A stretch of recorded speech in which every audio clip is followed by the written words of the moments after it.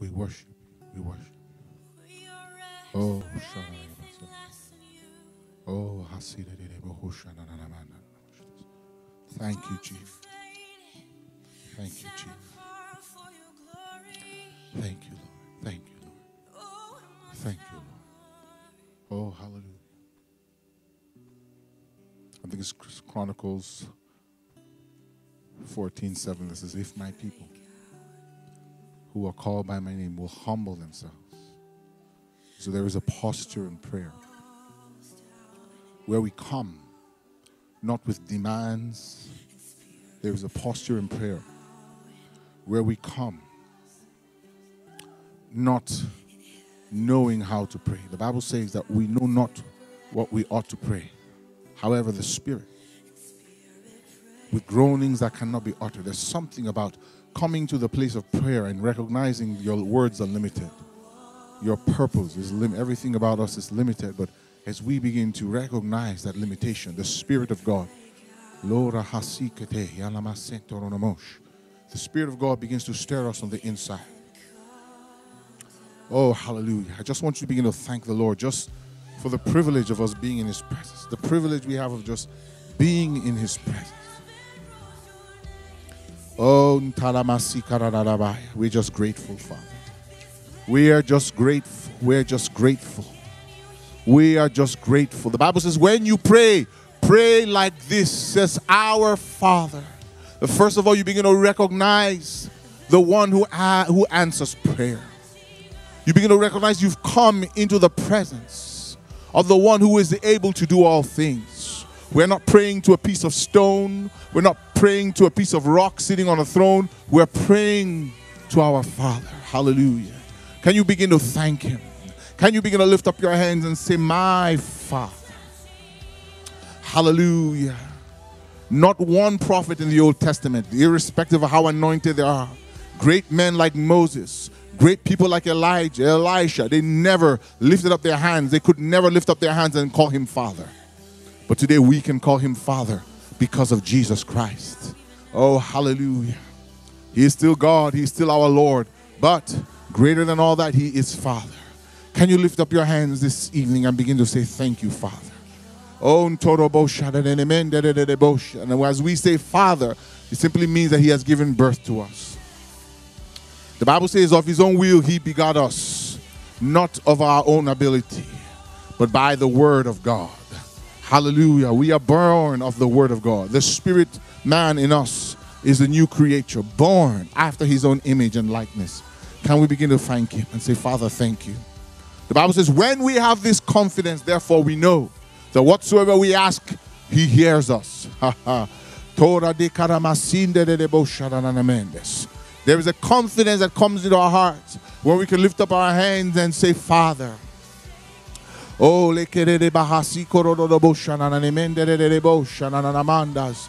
we can lift up our hands and say, Father, we know that we have an audience with Him. Oh, hallelujah. We begin to thank you. We begin to thank you this evening. We begin to give you the glory. Thank you, Lord, and the honor and the majesty. And as we stay in your presence, we begin to recognize our responsibility, Lord our responsibility. The Bible says that we are co laborers with God. That means that if anything is going to happen on the earth, God needs somebody to work with. If anything is going to happen in this church, God needs somebody to work with. God can do it, but He has chosen not to do it. That's why the Bible says, with God, nothing shall be impossible. It didn't say to God, it says with God, because God has chosen to partner with a man, to partner with a woman, to partner with a human vessel. The Bible says, with God, nothing shall be impossible. Thank you for being with us. Thank you for being in us. the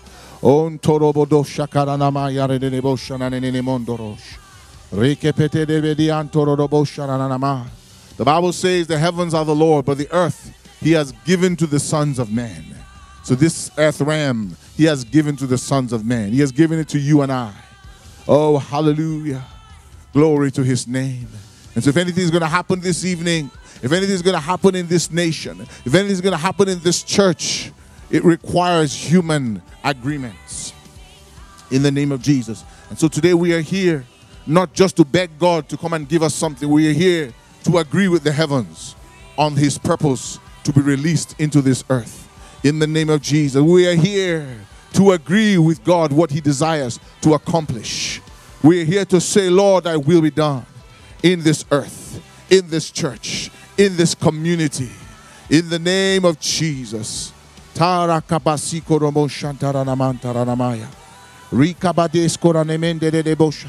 want you to begin to welcome the presence of the Holy Spirit. The Bible calls him the spirit of supplication, the spirit of grace, and he is also the spirit of supplication. As we begin to yield ourselves to the Spirit of God, we know that he hears us. We know. The Bible says, No man knoweth the mind of a man except the spirit of that man. And the Bible says, Therefore, no man knoweth the mind of the God of God except the Spirit of God. And the Bible says that we have received the Spirit of God so that we may know the things that are rightfully given to us. So the Holy Spirit reveals the thing, the mind of God, the deep things of God. As we begin to pray, we begin to pray His mind by the Spirit of God. As we begin to pray, we begin to see into His mind, into His desire, and we begin to pray His will. I want you to begin to speak in tongues now if you can. Begin to stir up your spirit this evening. So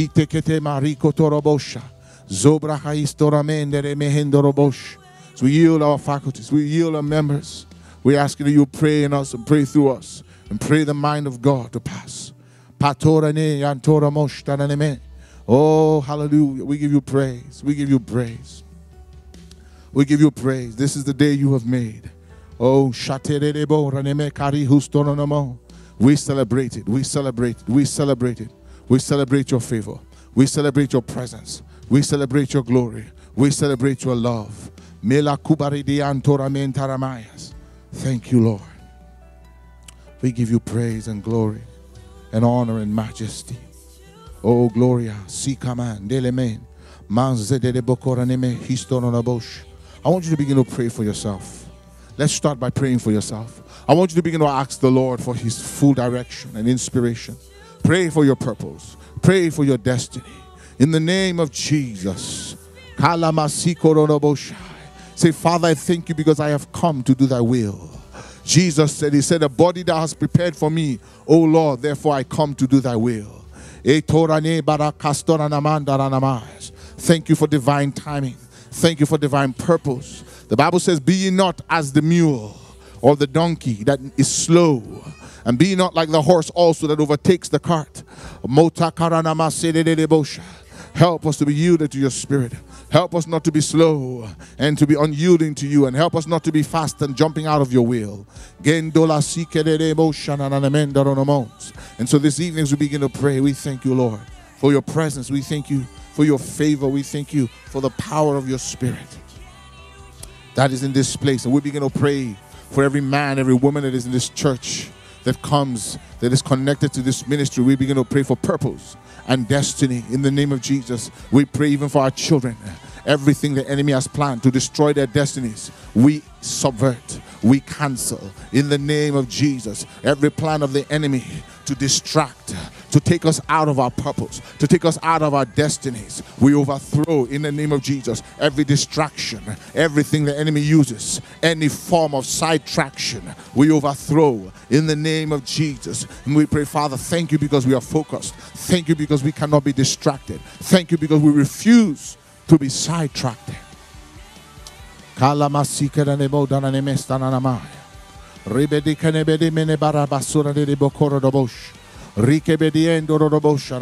We begin to call on your name.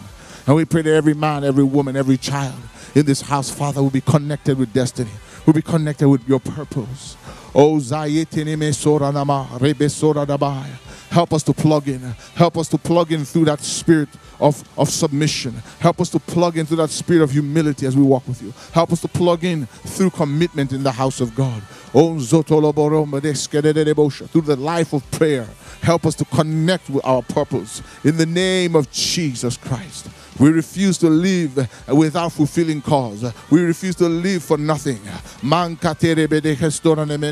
we begin to prophesy over our children, over our grandchildren, over the young ones, over our brothers, over our sisters, every man, every woman, every teenager that comes into this house. Father, Lord, we cover their destinies and their purpose with the blood of Jesus. Every plan of the wicked one to destroy, every plan of the wicked one to overthrow their purpose, their destiny, we cut short in the name of Jesus. We arrest every devil and assignment to destroy their future. We bind you in the name of Jesus. We arrest your activities in the name of Jesus. We decree they will fulfill their cause.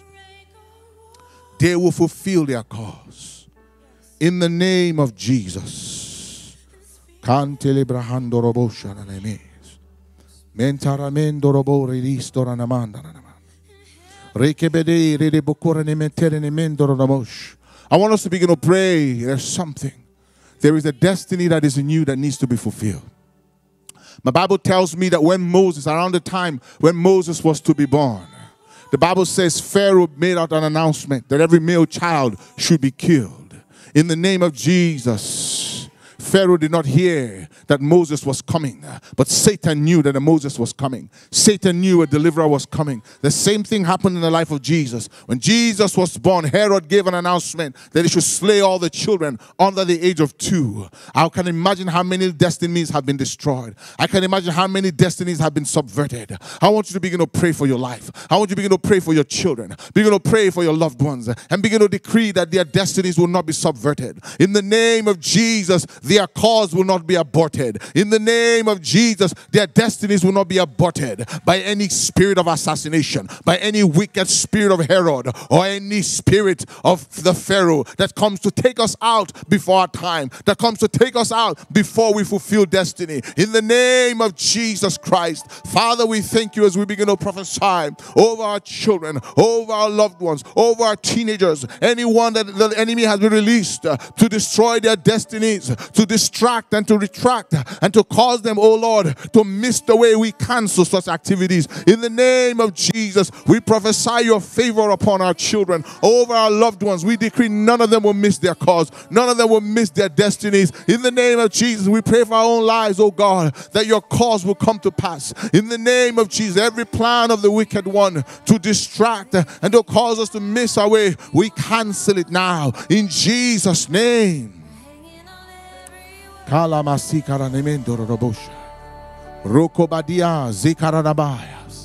Oh, we declare war against every enemy of destiny, every enemy of purpose. In the name of Jesus, that raises up his head in our time and in our generation, that raises up his head in the life of our children. We bring you down in the name of Jesus Christ. And we decree that we are focused and we are fulfilling the purpose of God. We are fulfilling the cause of God. We are fulfilling and manifesting the kingdom of God. Thank you, Lord. We give you glory and we give you honor in the name of Jesus. Oh, Thank you because our destinies are sure in you, Lord. In the name of Jesus. Thank you because our destinies are established by the word of God. Oh, we give you praise. We give you glory. We give you honor. Thank you for answering us, Lord. Hallelujah. Oh,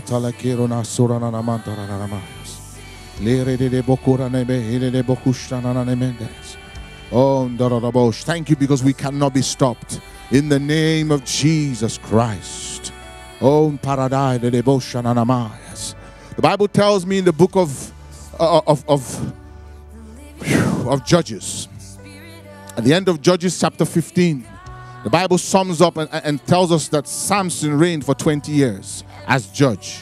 And then the next chapter, it tells us how Samson went down to a prostitute. Hallelujah. It means that his destiny, his purpose was rounded up. The Bible summed up his destiny at the end of chapter 15. So everything after chapter 15 was outside the will of God, outside the purpose of God. Hallelujah. I want us to begin to pray for our lives. Let's begin to pray that God will help us, that we will be sold out to Him in the name of Jesus. We will fulfill the fulfill the complete number of our destiny, our years. In the name of Jesus. I believe God had greater things for Samson, but he could not fulfill it. Hallelujah. And he ended up dying with his enemies. In the name of Jesus, I refuse to die with my enemy. Can we begin to pray in the name of Jesus and say, Father, we refuse to be distracted. In the name of Jesus, every plan of the wicked one to distract us, to cause our hearts to be lukewarm, to cause our hearts to be sidetracked. In the name of Jesus, we refuse it. In the name of Jesus, we are willing and we are obedient. Therefore, we will eat the good of the land. In the name of Jesus, we choose to be a people of prayer. We choose to be a people of the word. We choose to be a people of purpose. We choose to be a people of righteousness and holiness. In the name of Jesus. Oh, precious Father, we thank you for the victory you have given us as individuals, and we thank you for the victory you've given us as a church. Oh, Shakalamatele Kerenemosha. Rabate Matsudala Kapasidesh. We give you glory and honor and majesty. Thank you, Lord. Thank you, Lord. Oh, hallelujah. Hallelujah. Thank you. Thank you. I want us to begin to pray as we pray for ourselves and we pray for the church. There needs to be a stirring back to the place of prayer, back to the place of seeking God. In the name of Jesus, this is what the Lord told me. He says, If nations like Argentina and Mexico, many of them are exper- experiencing a move of God if they have to sit on their faces and cry before God and say, God, visit our nation, if they cry day and night and God visits them, don't think that God will just pour it on America just because we're America. It's going to cause this. It's going to take the same hunger, you understand? It's going to take the same persistence. It's not going to fall on us just like when we go through McDonald's, like a drive through. It's not going to come that easy. It's going to come the same way. It's going to cost us the same prayer. It's going to cost us the same time in the presence of God. It's going to cost us the same time fasting and praying and crying and saying, Lord, this is what we want. We get it when we want nothing else more than that. Hallelujah. As long as the basketball games and the soccer games and the football games are more important or more important than the presence of God, we're not ready for revival. Can we begin to pray? Let there be a stirring in our hearts. Let there be a stirring in our minds, bringing us back to the place of prayer. Oh, hallelujah. I want to tell you that is the cost of a move of God. That is the cost of a move of God. Prayer is not a department, it is the very thing that will unlock the heavens. You understand? It's that which will cause God to move. I don't care how much we preach, I don't care how much we meet, I don't care how much we organize, I don't care how much we do activities and we eat and have banquets. Without prayer, the heavens will not be unlocked in this place place. Can we begin to pray that our hearts will begin to cry out to Him? That our hearts begin to cry out to Him. That we begin to return to the place of prayer. That the ministers will begin to pray once again. That the leaders will begin to pray. That the members will begin to pray. That the children will begin to pray. That the teenagers will begin to pray. In the name of Jesus, can we begin to declare it this evening? Oh, precious Father, as you awaken our hearts back to the place of prayer, as you awaken our hearts to that consciousness that we need to seek your face we need to humble ourselves and seek your face. Father, we pray for this church. Let there be an awakening. We are praying for a move of God, but we know that there is no move without connection through the spirit of intercession. Oh, hallelujah. Father, we're asking you begin to awaken our hearts from the pastor to the preachers to the ministers to the leaders to the, the, the board members. All our hearts begin to cry out. We begin to seek you individually and corporately in the name of Jesus Christ. We're no longer becoming satisfied with just being members of a church, but we begin to cry out that heaven will come and invade the earth in the name of Jesus Christ. Oh, Kamasunda Ranamaya until our prayer meetings are more filled up than the banquet meetings. In the name of Jesus, until the prayer meetings are filled up more than our picnics. In the name of Jesus, that is our cry.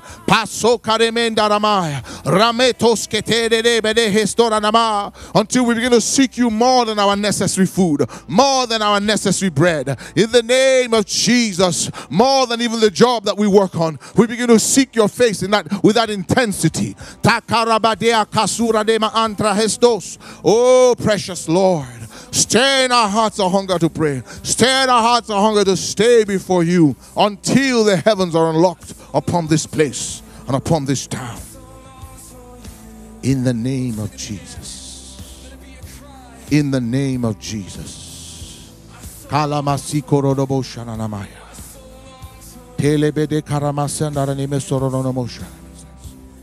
Thank you, Jesus. Thank you, Jesus. Oh, hallelujah. We believe in God for a church founded on the Word of God, founded on prayer and seeking God. In the name of Jesus. In the name of Jesus. The man of God said something that blessed me. He said, Look, if a church explodes just through media, it will collapse also through media. Do you understand? If it is entertainment, we used to build the church and it grows overnight, that church will collapse overnight because of entertainment in the same way. If a church it grows because the pastor, you know, throws out money and all these things to attract people or food, food will also come and scatter the church. Hallelujah. Because there have been churches like that, mega churches of 20,000 today, the next day they're down to 1,000. The church that grew overnight because of media can be scattered overnight because of the media. But if it's founded on the Word of God, if it's founded on prayer, if it's founded on people that are seeking and crying out to God, it will take more than the media to scatter it. It will take more than CNN to scatter that church. It will take more than any of these feeble things to scatter the church. In the name of Jesus. And Jesus says, I will build my church. And he said, the gates of hell will not prevail. Why is the gate of hell prevailing over the church? Because most churches now are not built by Jesus, they're built by men. Built by the ability of men and technology and, and all kind of entertainment. And the enemy comes overnight and blows on it. And it goes down overnight. But I want us to begin to pray for this church. Let us be a church that seeks God. In the name of Jesus. Hallelujah. Let us be a people that seek God. Let us grow in grace and in the knowledge of the Lord Jesus. Real growth, most of the time, does not happen overnight.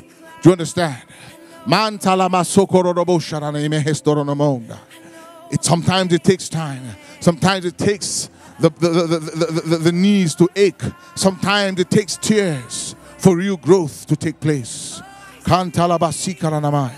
We begin to pray for this church. And this is our time. This is our season of bounce back. Let there be rightful growth. We don't just want swelling. We don't just want edema. We want growth in the name of Jesus, physically, spiritually mentally. We want growth in all spheres. We want spiritual growth too. We don't just want to be a church full of babies that when they hear the word of God, they're offended and they jump from church to church. We want to grow in maturity. We want to grow in grace. We want to grow in the wisdom and in the fear of God. In the name of Jesus. Father, we begin to pray for Lakeside. Oh, Brahete, we desire your move. We desire growth. We desire establishment. In the name of Jesus, you said the house of Jacob will take root downwards first and then grow upwards. In the name of Jesus, help us to get root first downwards and grow upwards. In the name of Jesus. Para istoramaya de karamastires. Rekebede karamasikendelere remosh. We cry out this evening, Lord, as we begin to pray for this church. Do it in us so that you can do it through us. In the name of Jesus. As we pray, we cry, Lord. Let us become that thing that we're crying for. Let us become the revival that we're crying for. Let us become the healing that we're crying for. In the name of Jesus reflections of divinity, reflections of your glory, reflections of your power. In the name of Jesus, help us to engage your presence, to engage your word, to engage the Holy Spirit in fellowship. In the name of Jesus. We thank you. We thank you, Lord. We thank you. Let our hearts long out for the real thing. In the name of Jesus. In the name of Jesus. Oh, we give you praise. We give you glory. We give you glory. Oh, Roboto I want us to do a pray for the church. I believe there is a there is a, there is a shifting in the spirit. And God is bringing in people and positioning them in certain places. A lot of people have come to the church. Some of them joined through salvation. Some of them joined through the, the banquet or the, uh, the pantry, sorry. And some of them are, are just coming in. They just left their churches and coming. God is putting people in positions because something is about to happen. Hallelujah. Glory to his name. Some people are leaving. God is taking some people out because Jesus says that I will prune that branch. The Father prunes it so that it can produce more. Some people that have been in certain places that have been still, God is taking them out in the name of Jesus because of what He's about to do. Hallelujah. I want us to begin to pray for the church. Father, we thank you. We thank you. Prepare us, Lord. Refine us in the name of Jesus. Deal with our hearts and our minds. Prepare us for what you're about to do. Help us to respond and to submit to the fullness of your process. In the name of Jesus. We pray even as a church, refine us and get us to a place where we're ready to carry what you're about to release. In the name of Jesus. Prepare us in the house of Potiphar. Prepare us in the prisons of Pharaoh until we are ready to bear the glory, until we are ready to carry what you're about to release in this place. In the name of Jesus Christ, that that which you release upon us will not crush us, but will take us to the next level in the name of Jesus. We pray as individuals, prepare us, Lord, in the name of Jesus.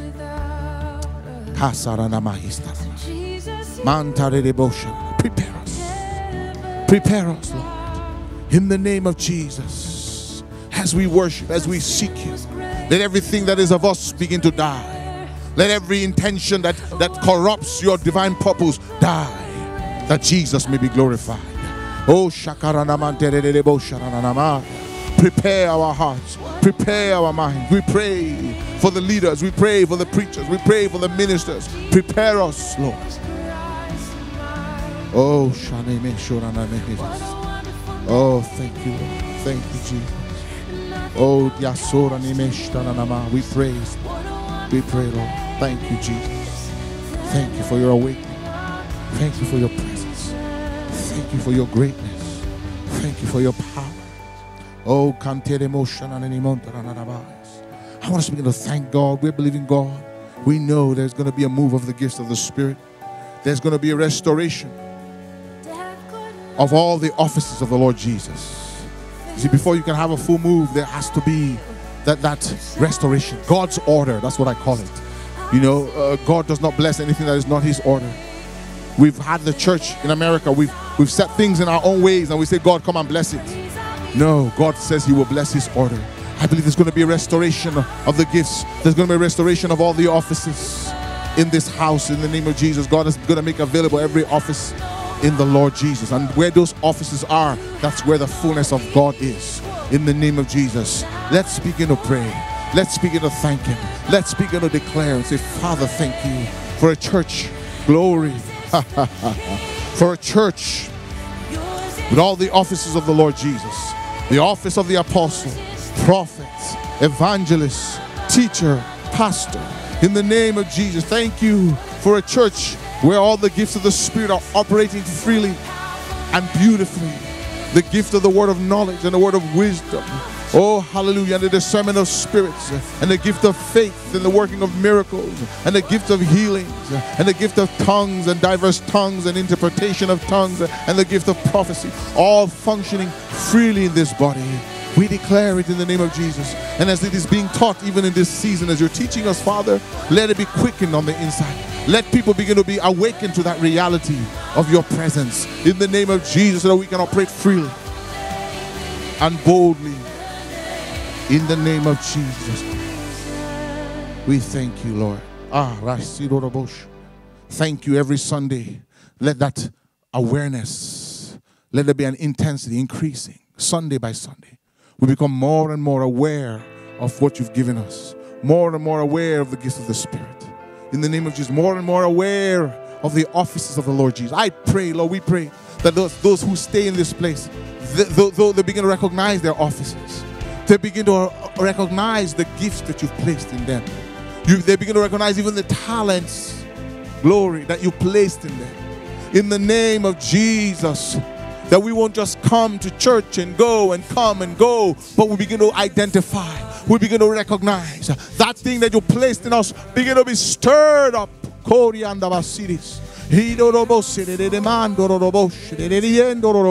Begin to be stirred up in our innermost beings in the name of Jesus. Oh, we begin to pray the Father that we begin to hear the voice of God. Like Samuel, that begin to hear your voice. That we begin to hear your voice in our quiet times. We begin to hear your voice in our time of prayer. You begin to speak to us individually and collectively. In the name of Jesus Christ. We refuse to settle for anything less than what is in the Word of God. Oh, sorane.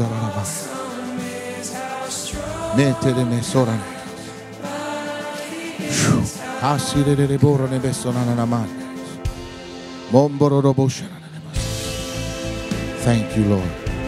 As you prepare us for your move, as you prepare us for the rain. Oh, hallelujah.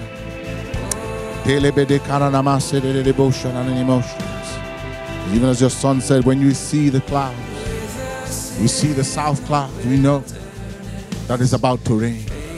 Even in this season, we see the clouds, clouds of your glory, clouds of your favor.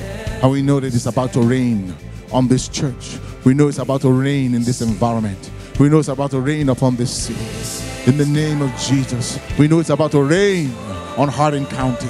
In the name of Jesus, we pray, open our eyes, Lord, as we begin to engage spiritual warfare, as we begin to take down the forces of darkness that control this town. In the name of Jesus, demons of sexual immorality, demons of greed and pride, greed, demons of moral failure, we begin to bring them down. In the name of Jesus, we decree your hold over this church is broken. Your hold over this community is broken. Demons of, of drugs and sorcery, we break your influence. In the name of Jesus, we bring you out of your place. We cut you off from where you function in the heavenlies. In the name of Jesus.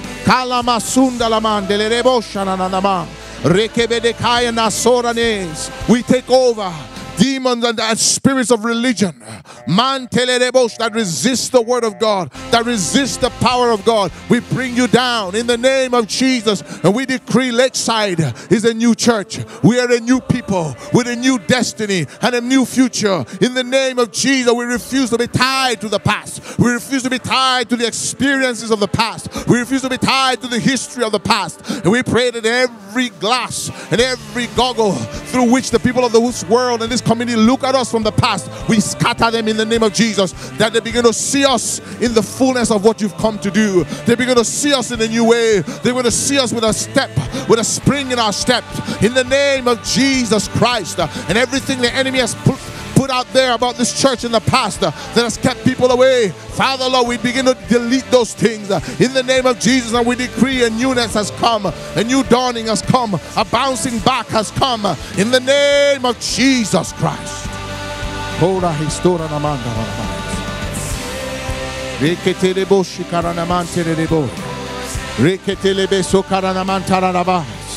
We begin to declare war. And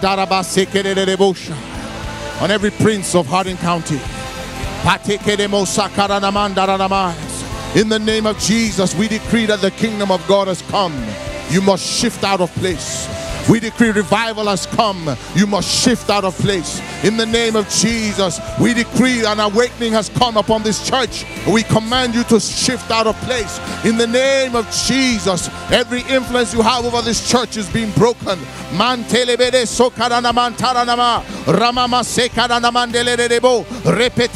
atosa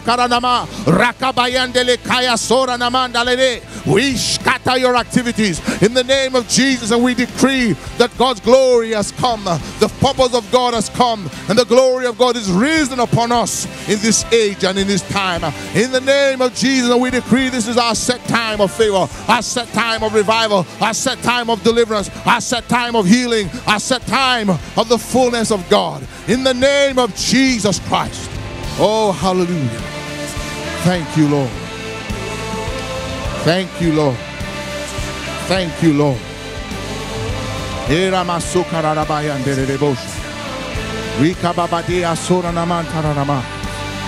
Thank you for revival. Thank you for an awakening. Thank you for the spirit of grace and supplication being poured out in the church, being poured out on your people. In the name of Jesus Christ. Thank you for answering us, Lord.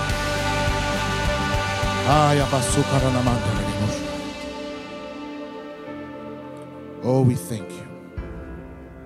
We thank you. Hallelujah. Hallelujah. I want us to pray for, for, for, for Lakeside. There's a scripture I love so much, and that was when Esau was crying for his blessing. The Bible says he cried with a loud voice. He raised and lifted up his voice and cried to his father. He said, My father, my father, bless me also. And his father Isaac said, I'm sorry, the blessing has already been taken.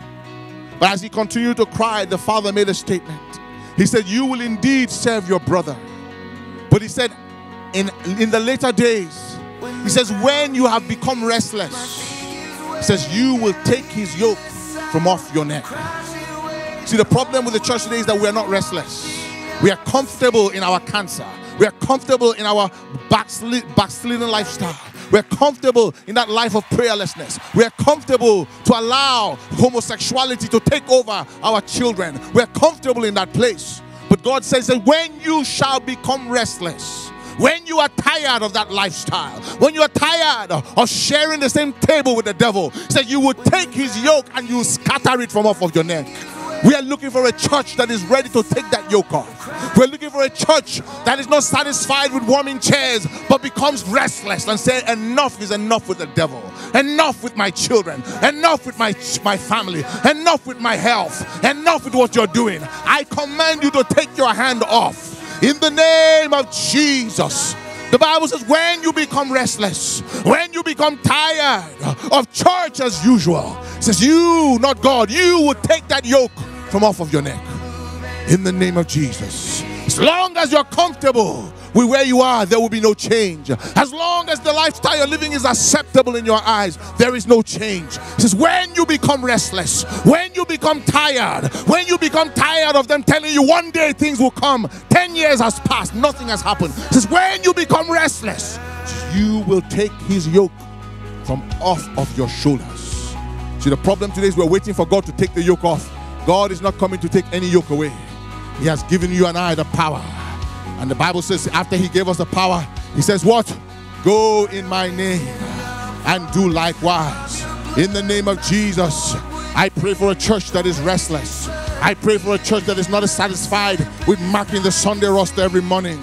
I pray for a church that is not satisfied with hearing stories about what God did in the past, but want to see God in their time. In the name of Jesus, I am praying for a church that is not satisfied with having their children medicated, having themselves medicated for depression, but are ready to take that devil out, that bondage off. In the name of Jesus, I pray for a church that is not satisfied with just Bible study or satisfied with church education, but are hungry for the glory of God, hungry for the Spirit of God, hungry to see God do what He said He would do in our time.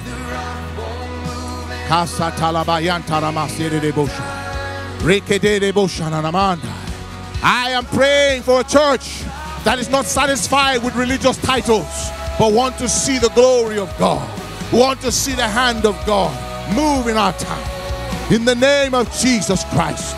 Mantele baros kadalamande.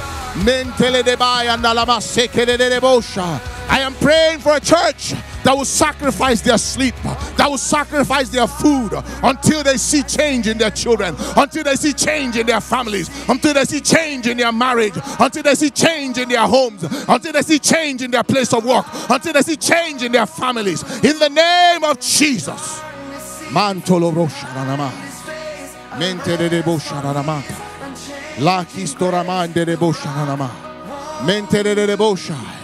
Father, I pray for a church that is not satisfied. I pray for a church that is not going to cross their legs and say, God is not doing it anymore. But will say, if you did it in the time of past, you can do it again. For Jesus Christ the same yesterday, today, and forever. In the name of Jesus Christ. Thank you, Father. And I pray for these ones that are under the sound of my voice.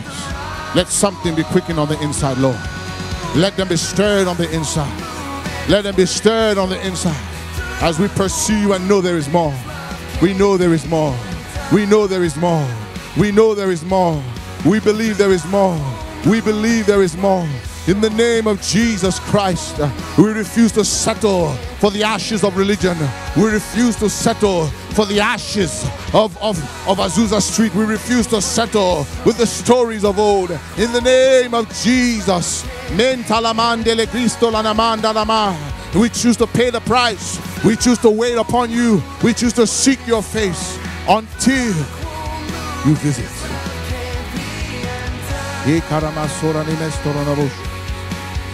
Thank you, Jesus. Thank you, Jesus. Thank you, Jesus.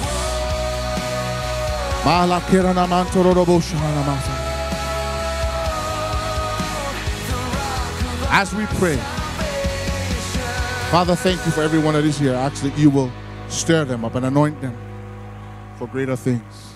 In Jesus' name. Brethren, as I round up, I want to encourage you. This is not about a prayer meeting. This is not about a prayer department. This is about getting what God has. Let us not wait for persecution to drive us into the presence of God. Don't wait until cancer hits your body before you know that you have to seek God and believe Him for the miraculous. Don't wait for the devil to show up on your doorstep before you know that it's time to pray. Don't wait for your house to catch for the devil to set your home on fire before you start looking for the fire service. Oh, hallelujah. You better get the Lord to move in with you now. This is the time. In the name of Jesus, I want to challenge you this evening.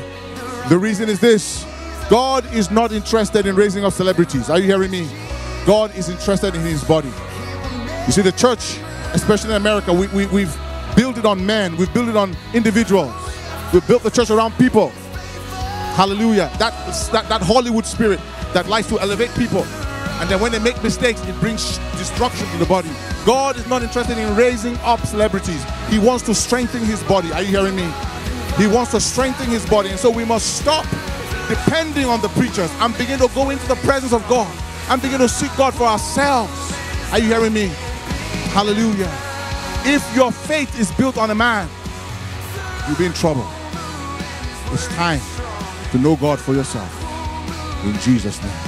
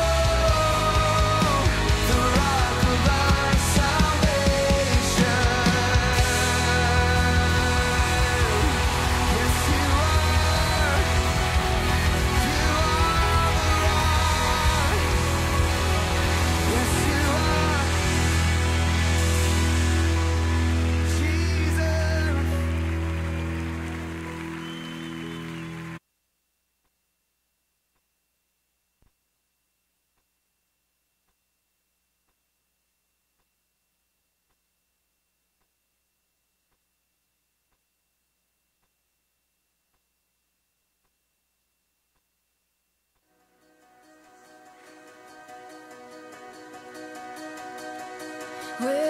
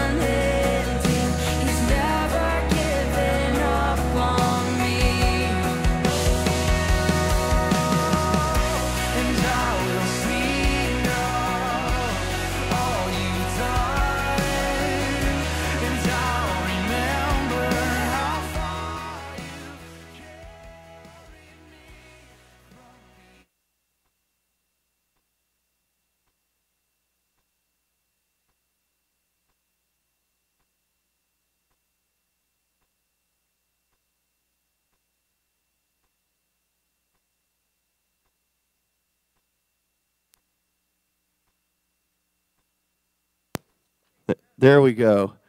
You guys are rock stars. Thank you so much. All right. Hopefully, everybody's had a good week. And hopefully, everyone has the milk, the bread, and the eggs because we're all going to die on Friday if we don't have them, right? Um, I love Kentucky for that reason. It cracks me up. It's, uh, it's, it's so predictable. But there are stores already bracing for it. We're supposed to get like three quarters of an inch on, of, of snow on Friday. And uh, we're going to die. Yeah. Uh, it's going to start like during the day, and then it's going to kind of transition into more and more. So um, that's that's possible. It's at least possible. So let me give you some stuff that's coming up that's super important. Okay. So uh, make sure you you mark these things on your calendar. Some of this stuff has just been scheduled. Some of it's been on the schedule for a little while, but these are some important things. Okay. On what, what's the date? February the February the 8th. We are going to be needing some new, listen to me, we are going to be needing some new people to help us with our supervised visits. Okay, uh, the need continues to grow and the volunteer base continues to need to grow. So if you have a heart to help moms and dads get their children either restored to them or at least be able to see them at regular intervals um, when their children have been placed in foster care, this is a huge opportunity for you. The training will be at 5:30, is that right? On February the 8th. So please make sure that you sign up for that and uh, join us in that effort. I, I usually do two a week. I'm down to one because one of the parents was restored and was able to get their visits unsupervised, which is ultimately one of the goals. So help us out on that. We need plenty of volunteers. Okay, this is something that could potentially take you one hour a week here. Now, cost you're traveling back, but one. I think it's worth it. So if you want to get involved in this, let us know. Also, this Sunday evening is an opportunity for you all to come together with people from the church to pray. You notice we offer a lot of these. That's because we are trying to get our prayer team, are you ready? 100 strong. Everybody say 100 strong. We are trying to get our prayer team 100 strong because uh, we believe what I uh, we received what I believe is a word from God that this church will one day minister to a thousand people. I don't know in what capacity or how or how many campuses it will take or whatever because I'm not interested in building buildings. Amen. But if we're going to do that, then we have to be a people of prayer. Amen. I don't want a thousand people in a church that don't pray. It will be at 6 p.m. Did y'all hear me? No, I'm talking about the thing I said before that. I don't want a thousand people in a church that don't pray. Amen? Because then it's just people. I want power. Amen? I'll take 500 or 200 on a church that prays because then you'll see us make a difference in the world. So join us for that, 6 p.m. this Sunday. Um, Volunteer Festival, January 28th. It's going to involve a Sunday morning and a Sunday night. Sunday night, we're going to feed you, and our minister, our ministries are going to get an opportunity to share their hearts with you. Um, there is no youth group tonight because Pastor Ricardo and Katie had their little baby Drew, and it makes me regret.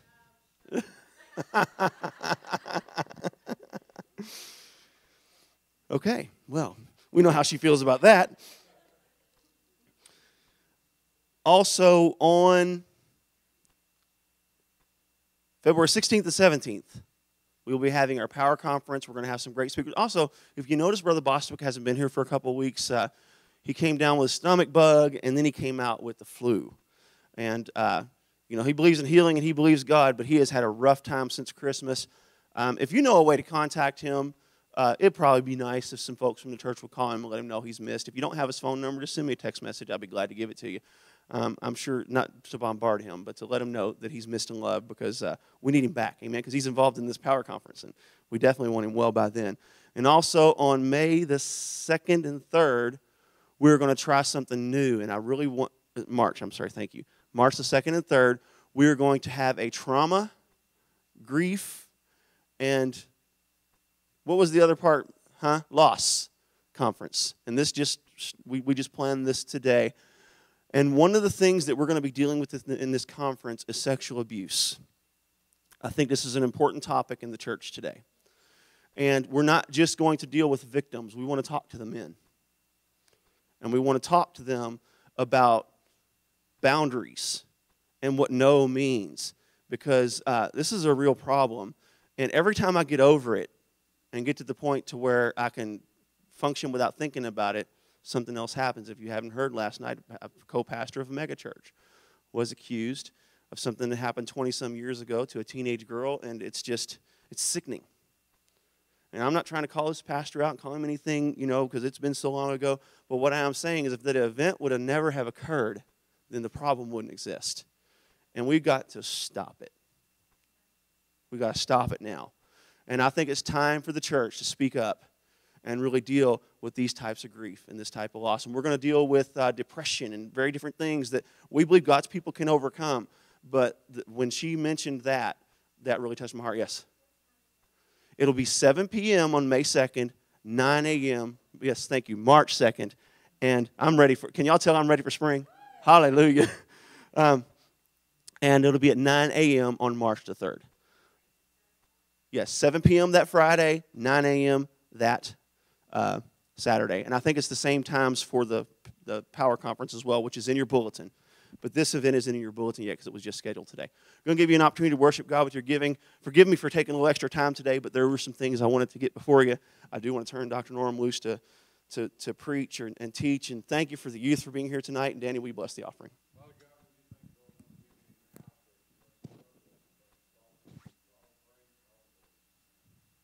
Amen. I do always notice the youth are fewer when they're forced to come over here. But Dr. Norman, we're going to turn you loose. Thank you for your patience. If you want to check out the bulletin, it's already online. Just go to our website, About Us, click on the PDF file, and you can check the bulletin out early.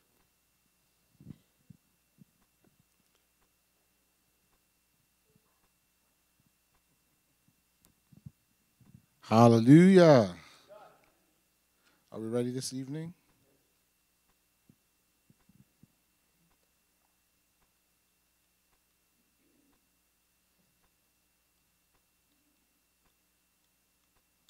Okay, so we're going to be talking, uh, continuing on the gifts of the Spirit.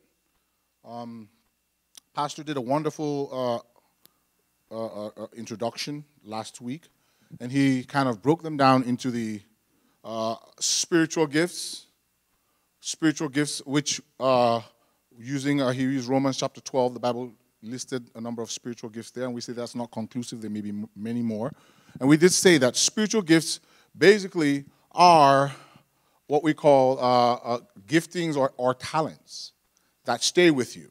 Okay, so these are things that stay with you. They, they, you're- born with them. Okay, um, the Bible talks about. Let's go there. Romans chapter 12. Are we together? Romans 12. You're looking at me. You're waiting for me to open the Bible. Go ahead. Romans chapter 12. Amen. Sorry, I don't have any handouts, and even if I had one, I won't be reading from it. So just uh, go with me. I'm just going to flow with the Holy Ghost. I have a little note here to kind of guide me through. Romans chapter 12. Are we together? Okay, so let's look at some of those, some of these, uh, what we call spiritual giftings.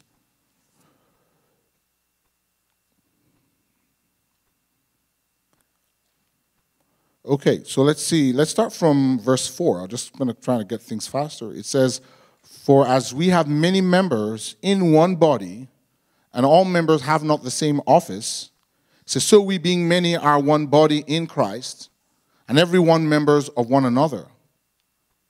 Having then gifts differing according to the grace that is given to us. Whether prophecy, let us prophesy according to the proportion of faith or ministry, let us wait on our ministering, or he that teacheth on teaching, and he that exhorteth on exhortation, he that giveth, let him do it with simplicity, he that ruleth with diligence, and he that showeth mercy with cheerfulness. Now, this I'm reading from the King James Version, okay? So if you have another version, just you know, flow along with us. Amen. Now, one of the things that Pastor said, and, which is very important, is to understand that when we talk about the spiritual giftings, these things are with you. These are things that, that they're talents that you're born with. And these come alive or they become effective when we come to Christ. Okay? Now, one of the one of the first one that is mentioned there is prophecy. So there, there is the gift of prophecy. Okay? There is the gift of prophecy. And there is also where we're going to talk about later about the, the, the, the uh, uh, how do I call it? I call it the manifestation of the Spirit. Okay? When you look at uh, 1 Corinthians chapter 12, it actually, if you look at the original, it says concerning, it doesn't say gifts, it says concerning the Spirit, the manifestation. It says the manifestation of the Spirit. Because it's important to understand the difference between the, the, the spiritual giftings and the manifestation. Because the manifestation is as the Spirit what? Wills. Which means that I can come into an, a, a, a place like this and, you know, the glory of God falls and, and I give a, a, prophetic word and I leave this place and I never prophesy again. Do you understand? Because I, it was as the Spirit moved, I was stirred up and I gave the prophetic word. So we're going to look at that. Now, there is the gift of prophecy. When we talk about the gift of prophecy in the area of talents, there are people who are gifted with the ability to have prophetic words, the ability, especially, to hear from God. Do you understand? Let me put it more easily uh, uh, the ability to get into the spirit realm. Let me put it that way. Okay? Because there are people, they may not even be saved. And, and, and they, they, they, they, they can get into the spirit realm. Amen. You know, when I was growing up, my mom, she wasn't saved then. Now she's she's saved, uh, still a little bit into the Catholic thing, but she's saved. She wasn't saved. She used to have accurate dreams. And when I got born again, I didn't used to listen to her because you know I was like, she's not born again. How can she be getting this? But her dreams were always accurate. And then the same thing with my brother. My younger brother, he just has, I know he's born again now, but he has accurate dreams. The same thing with my sister. She has accurate dreams. Amen. So it's, it- it's kind of, uh, how do I put it? You know, so after I got saved, I, I, I never used to really experience the dream realm and all these kind of things until I, as I studied the word, I realized that um, God uses dreams. And I studied in the New Testament. And the moment I acknowledged it, because before I used to say, oh, you know, the church I grew up, you know, whenever you had dreams, they say, oh, you ate too much pizza. So they would always laugh about it. And as long as I had that attitude towards my dreams, God wouldn't use them. That's what we call the law of honor. Whatever you don't recognize, you don't benefit from. Do you understand? It's a law of honor. We've talked about that in terms of even leadership. If you don't recognize a pastor or a man of God, he can't bless you. He can jump, he can somersault from here and hit his head on the ground. He won't bless you until you recognize that office. The same thing with gifts. If they're not recognized, they don't become effective. So the moment I recognize and I say, wow, so there, there are real dr- dreams. God can use dreams because I believe Old Testament, you know, there were dreams, Old Testament, New Testament, they're not like dreams. I, I, I, I looked at a, I think it's um, Deuteronomy 13, verse 1. It says, uh, it says, if, uh, ah, let's, let's go there. Amen. Deuteronomy, are we together? This is not part of my my plan, okay? So Amen. Dr. Norm is all over the place. Are we there? Someone should open Deuteronomy 13, verse 1. If you have it, let's just make it a little bit faster. Go ahead. If a prophet, dream, or a dreamer of dreams arises Fine. Beautiful. He says, if a prophet or a dreamer of dreams. So in the in the same place it mentions the office of a prophet, it mentions the office of a dreamer. You know, Joseph was not a prophet. He was a dreamer. Amen. The Bible never called Joseph a prophet. He was a dreamer of dreams. You know, and so as I began to study the word, I, I realized that there is the uh, uh, there, there is that office. I call it an office of the dreamer. Amen. In the Old Testament, kings, every king had a dreamer that would that, that would uh, uh, that would see the future. Amen. Hallelujah. So what am I trying to say in this area? Anyway, I'm just I'm trying to tell you that there are certain gifts that run in families. So when we talk about the gift of prophecy, it runs in families. It can run in families. Amen. Now, if you go to the Old Testament, you see something interesting as we go down that way. Amen. I want to show you something. Are we together? Acts 21. Acts 21, verse 9. So whoever gets it first can read it for me. Acts 21, verse 9. Hmm? You're there. You're going to read everything. Okay. want to make sure that everybody else has a Bible. Courtney, where's your Bible? Okay.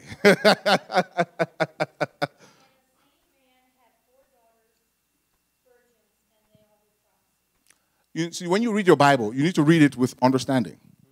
There's no meaningless detail. Why would a man have four daughters and all of them are prophesying if it's not running in the family? You get what I'm trying to talk about? Do you understand? So, so these gifts have the ability to, to we talk about, we're going to talk about the other ones. They have the ability to, these are, are, are, the gift of prophecy can run in the family. Amen. Now, there's another scripture I want us to look at, and we're going to talk about that later. But what I want you to, see, we're going to talk about later. If you go through the Old Testament, there, a lot of times they would talk about the sons of the prophets. So the sons of the prophets were children of a prophet, A- and that gift would run in their family line. Do you understand? Um, yes. Something we're talking about a talent. Now we're not talking about the gift of the spirit as a manifestation. We're talking about that that that you're born with. Gifted in that area. Oh, well, hmm. I, I, I, won't, I won't answer that. All I'll tell you is that certain things are given, okay? For instance, because we're talking about talents that we're born with. You understand me? Now, you can pray and say, Lord, I want to be used in the manifestation of the gifts of, of prophecy. And the Holy Spirit will use you. But what I'm trying to say is that when it comes to that particular gift, it doesn't function, it, functions around the body of Christ. Do you understand? You're not going to be walking down the street in Walmart, you know, and just start prophesying. Thus, oh, my people, my people. It's, it's not useful there. Do you understand me? The Spirit will not manifest. There's, we're going to talk about the dimensions of prophecy. But now we're just talking about that which is inherent. Yes. Do you think it's like I have dreams? Yes. When I he started having dreams, like, it true, mom. True. Mm-hmm.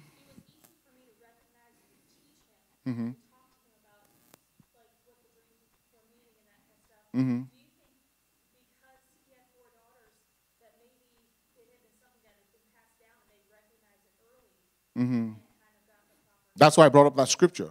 You know, for the fact that it says four of them all prophesied, it's telling you that this was not just the manifestation of the Spirit. Do you understand me? That manifests in a place of worship. This was with them. It was in the family. I mean, I believe when Paul went to stay over in their house, these daughters were prophesying. Do you understand? So it wasn't just something that was tied to the to a place of worship. It was something that was in them. And and um, I was sharing with us. Um, I think when Pastor was teaching about this family, there was this family that lived opposite us when, when I was in Nigeria, and their, their mother was she was into the she was into you know the occult, okay, you know the psychics and all this stuff. They, they, they, those many of them have that ability to get into the spirit, even though they're going in in a negative way. And, and so when this family got saved, I mean I had been born again probably for for for three years, four years. These people get saved. I mean, within weeks. My God, they, they're getting prophetic words that even I had been born again for five years, I wouldn't be able to get that kind of. I mean, details and prophecy and specific things. Her, her younger sister, her brother, they were just whoosh, moving in that realm. Of, the moment they got filled with the Holy Ghost, it was like you know something just turned on. Do you understand what I'm talking about? You understand? So that thing was was was in the family. Hallelujah. And that's why sometimes many of us don't understand as we begin to talk about the, the, the realms of deliverance and things like that. There are things that the devil goes after. When he sees that thing, he goes after it. Hallelujah. The devil can know. He knows. He knows. You see, when you, when, when you, when you even as a, as a leader, when you come around people who have a certain gift, even if they don't recognize it, when you come around it, you identify it. You see, the devil knows when certain gifts are available, and he goes after these people. A lot of them who are out there doing all the psychics and all that crazy stuff, that thing is something God put in them. That doesn't mean you go to the psychic. But I'm trying to say God wants that gift. So they have to come and they have to surrender to him. Amen? You get what I'm talking about? Hallelujah. And we're going to go down and we're going to I'm going to show you some scriptures to just show you that. Amen. So anyway, so under these spiritual giftings or inherent, you know, gifts, we're talking about talks about prophecy. You see that? What's the next one? It says, whether prophecy, let him prophesy according to the portion of faith, or ministry, that's talking about serving. Okay, let let us wait on our ministering, or he that teacheth on teaching. So there is there is a teaching gift. This is not the office of the teacher, but there is a teaching gift. Amen.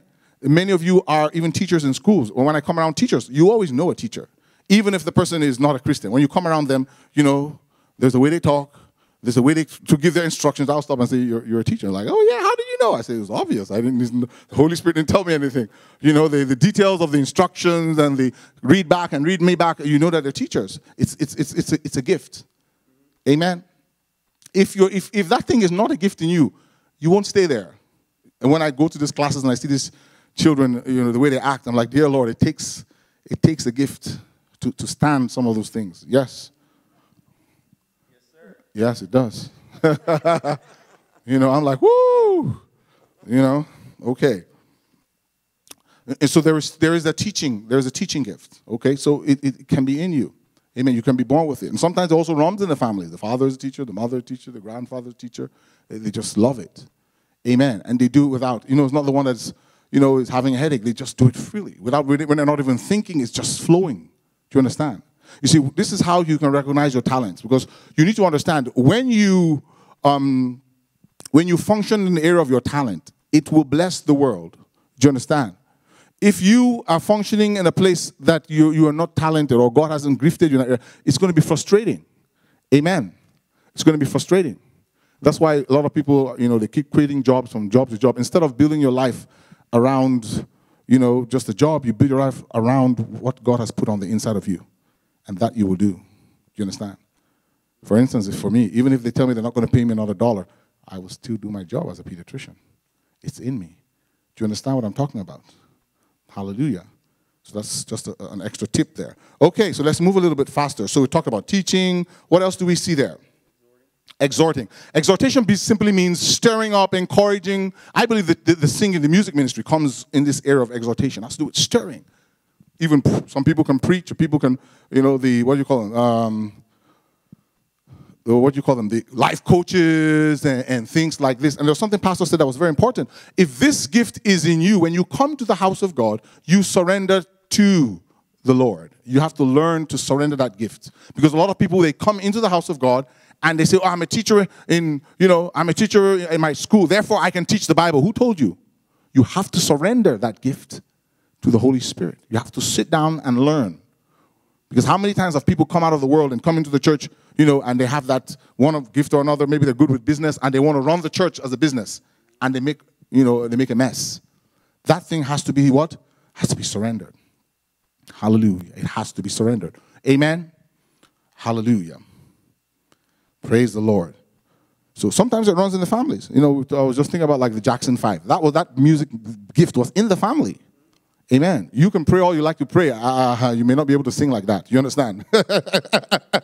so that thing was in the family. It was in the family. Amen. Hallelujah. But it's beautiful. Why? Have you ever noticed? I always, I've always said many of these people who are who are shaking the, wor- the world today. No, I won't use the word shaking the world. Who are in the world, who are attracting a lot of people through music. Many of them started in the church. Whether it's the Whitney Houston, I don't know their names. Who's that? Maria, what? Whatever their names are. Amen. I don't know who they are. I don't care to know. Amen. All I need, they need to be what? Born again. But what I'm trying to say is many of them started in the church. They identify that gift in the church, and then the world lures them out. You don't need to sing in the church. We'll do this and we'll do this, and they go out and they make a shipwreck. Amen. Hallelujah. Praise the Lord. Amen. So it talks about exhortation. What else does it talk about? It says, "Let him that uh, what giveth, let him do it with simplicity. He that rules." Talking about leadership and uh, with diligence, and he that shows mercy with cheerfulness. Amen. You can have that ability. Amen. You don't have to be a Christian to be uh, philanthropic. You understand? There, there are people who give even more than Christians. Amen. It's a gift too, something that comes with you. Amen. You know, um, my wife has that in her.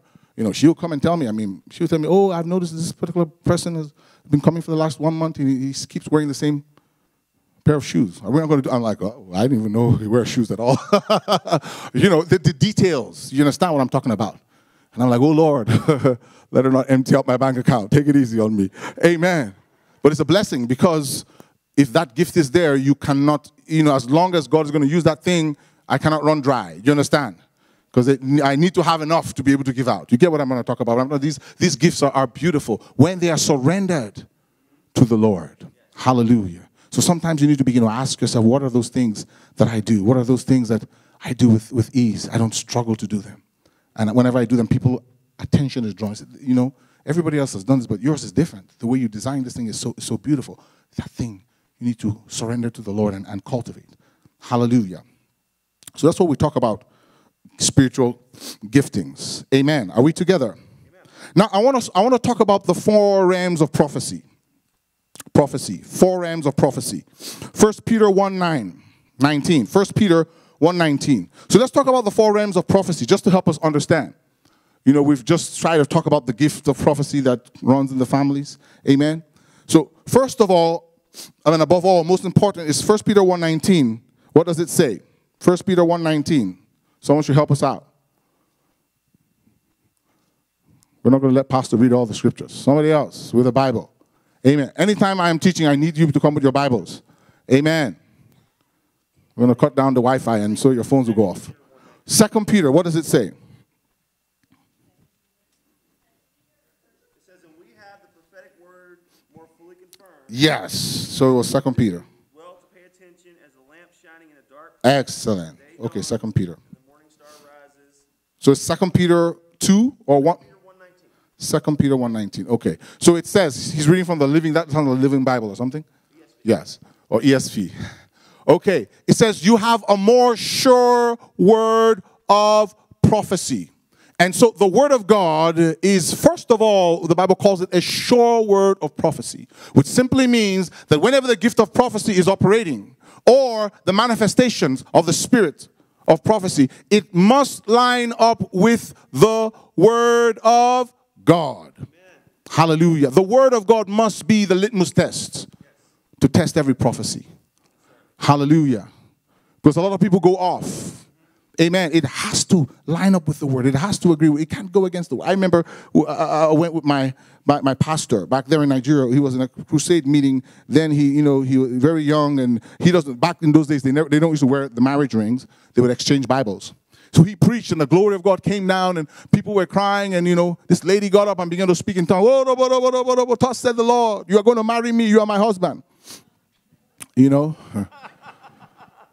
And, and so, you know, he allowed her to finish all the drama and all the screaming and all the shouting, you know, and then, you know, he replied, he said, you know, the Lord must have should have told you that I have a wife and six children, you know.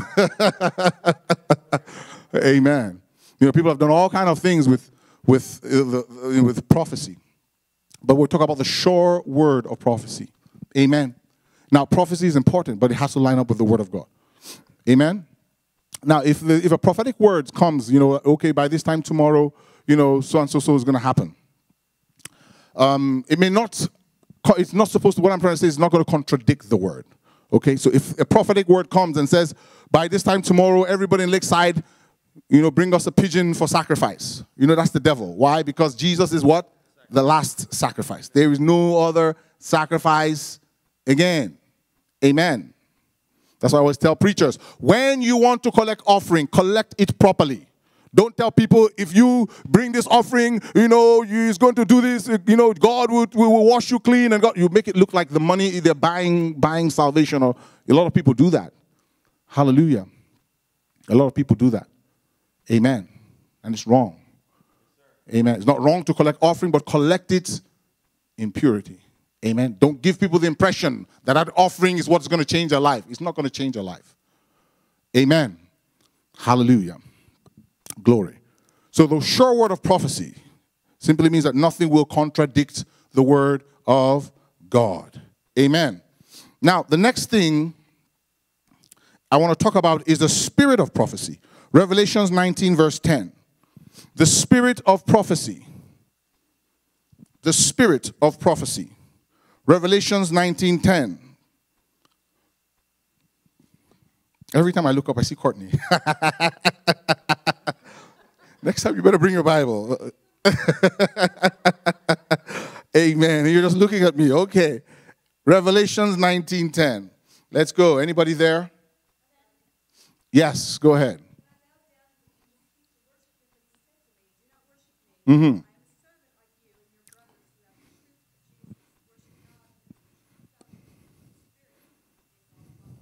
Hallelujah. The Bible says the testimony of Jesus is the spirit of prophecy. Now, there is what we call the spirit of prophecy. When we talk about the spirit of prophecy, we are talking of what we call the atmosphere where the prophetic functions. There is an atmosphere for the prophetic. And that's the atmosphere we're talking about most of the times where the gift of prophecy uh, or the manifestation of the spirit operates. We're in a worship service and everywhere is quiet. There's just a sudden hush and someone begins to speak. Thus says the Lord, and you know, that's the, what we call the spirit, the, the atmosphere for the prophetic. Hallelujah. Amen. Glory to his name. Now let's go to, uh, uh, let's look at a few things, important things. First Samuel chapter 10. Now I'm going to go down there. I'm going to read this myself because this- is exciting. First Samuel 10. Okay, so this is the story of the anointing of, of how um, Saul the king was anointed. Amen? So I'm going to go move, move down a little bit. And um, what happened, uh, let's go to verse 10. It says, it says, And when they came thither to the hill, behold, a company of prophets met him. It says, And the Spirit of God came upon him, and he prophesied among them. And it came to pass when all knew, all that knew him before time saw that, behold, he prophesied among the prophets. Then the people said one to another, What is this that is come unto the son of Kish? Is Saul also among the prophets? And one of the same place answered and said, But who is their father? Therefore, it became a proverb, Is Saul also among the prophets? Now, there are two things I want you to see here. So, um, Saul is looking for some donkeys that got lost or whatever they were, mules. And uh, they, they, they decided to come together and they said, let's go to the seer. Back in those days, they were called seers, okay? And certain of them were called seers, and some of them were called uh, the different, different names in Hebrew for the different prophets. Some of them operated more in seeing visions, and some of them operated more by hearing the word of Lord. Some of them operated more in dreams. So there were different ways God would communicate with these people. Says, if I, the Lord, uh, uh, uh, raise up a prophet, says, I will make myself known to him in a dream, in a vision. Amen? That was what the Lord said when they were talking against Moses. Hallelujah.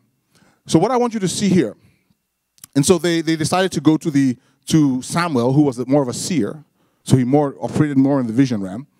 And Samuel, when they came to Samuel, Samuel began to say, "Okay, the donkeys are found," and began to you know tell him what would happen. Hallelujah, what would follow.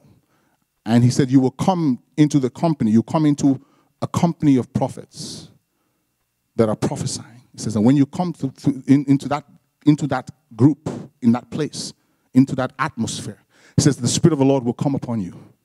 He says, "And you shall be turned into another man." And he says, "And after that, go and do whatever you need to do. The Lord is with you." Hallelujah. Amen. Now, what I want you to see is the atmosphere for the prophetic.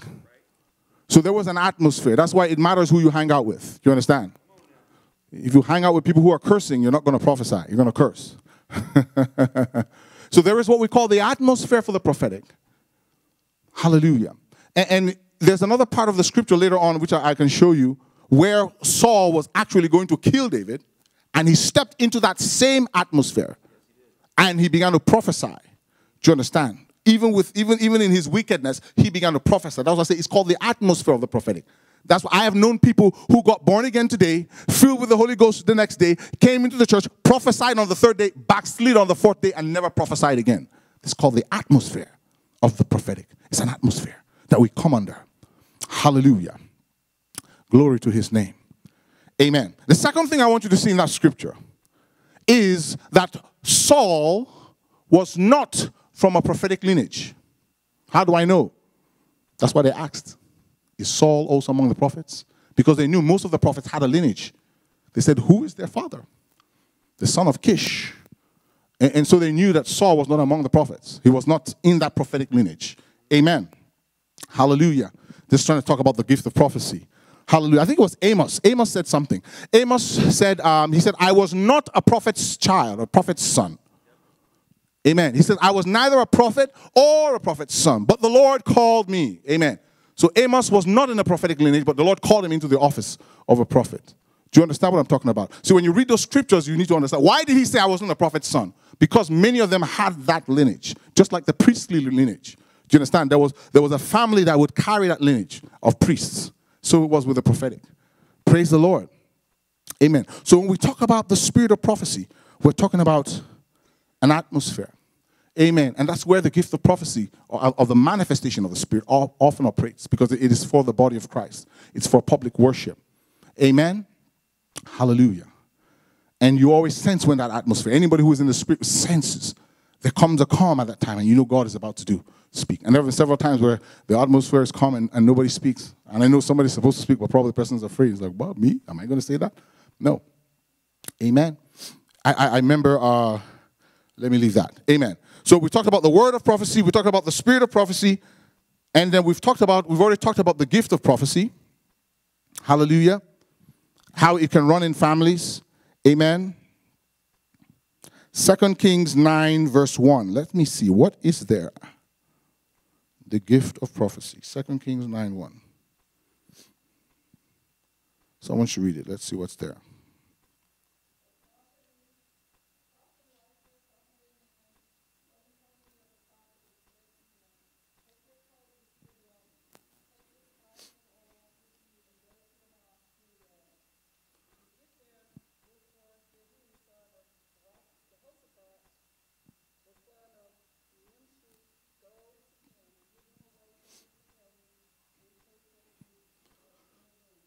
Okay, so where she's reading is uh, basically the anointing of King Jehu. So, uh, you know, the Bible says Elisha spoke to one of the sons of the prophets, or one of the people that were in the company of the prophets, amen, and said, Go. Hallelujah. And anoint Jehu. So he wasn't, uh, you know, later on the Bible calls him a prophet, but he was not really in that prophetic office, but the Bible identifies him as one of the sons of the prophets. And they had the schools of the prophets back in those days. They were schools, they, were, they would come together. Amen. And that's why I always tell people when we begin to talk about the gift of prophecy, when we begin to talk about the office of the prophet, it is important for you to move in unity. There's no man. You see, the problem today is that we have a lot of prophets that are walking alone. When you walk alone, you go into error. Amen. They had schools, they had groups. That's why the Bible says, let two or three speak. Let one speak, let two or three listen, and let them what? Judge. Brings balance. But the problem today is I'm, I am, uh, you know, my name is Major Prophet so and so. Yes, really, who made you that? And then he's on his own. And this one says, I am the most accurate. I've never made a mistake before. When I begin to hear this, I begin to weep. I say, God, they set themselves up for error. Hallelujah. Because the Bible says what? We prophesy in what? Parts. Amen. Oh, I am prophet so and so, major prophet. I've never made a mistake all my life. I'm like, whoo, that's serious. Amen. I said, how do people make such claims? Okay, it's scary. When I hear that, it, it scares me. Amen. And so there is also the office of the prophet. When we begin to talk about the office of the prophet, because we're going to talk about that next week, we're going to talk about the five, what we call the fivefold ministry, the apostle, or this one. Okay? That's the, that's the apostle. Why? Because he can touch all four offices. The Bible talks, calls Jesus Christ the apostle of our faith. The Bible calls him a teacher. The Bible says he was a carrier of good tidings, an evangelist. The Bible, you know, calls him the shepherd of our souls, the pastor. So he touched all offices. Amen. This finger is who the prophet. Okay, he's one that points at you and say, "Hey, thus says the Lord." Amen. Okay, we'll continue with that next week. But we're talking about now the office of the prophet. So the office of the prophet is is is um is heavier.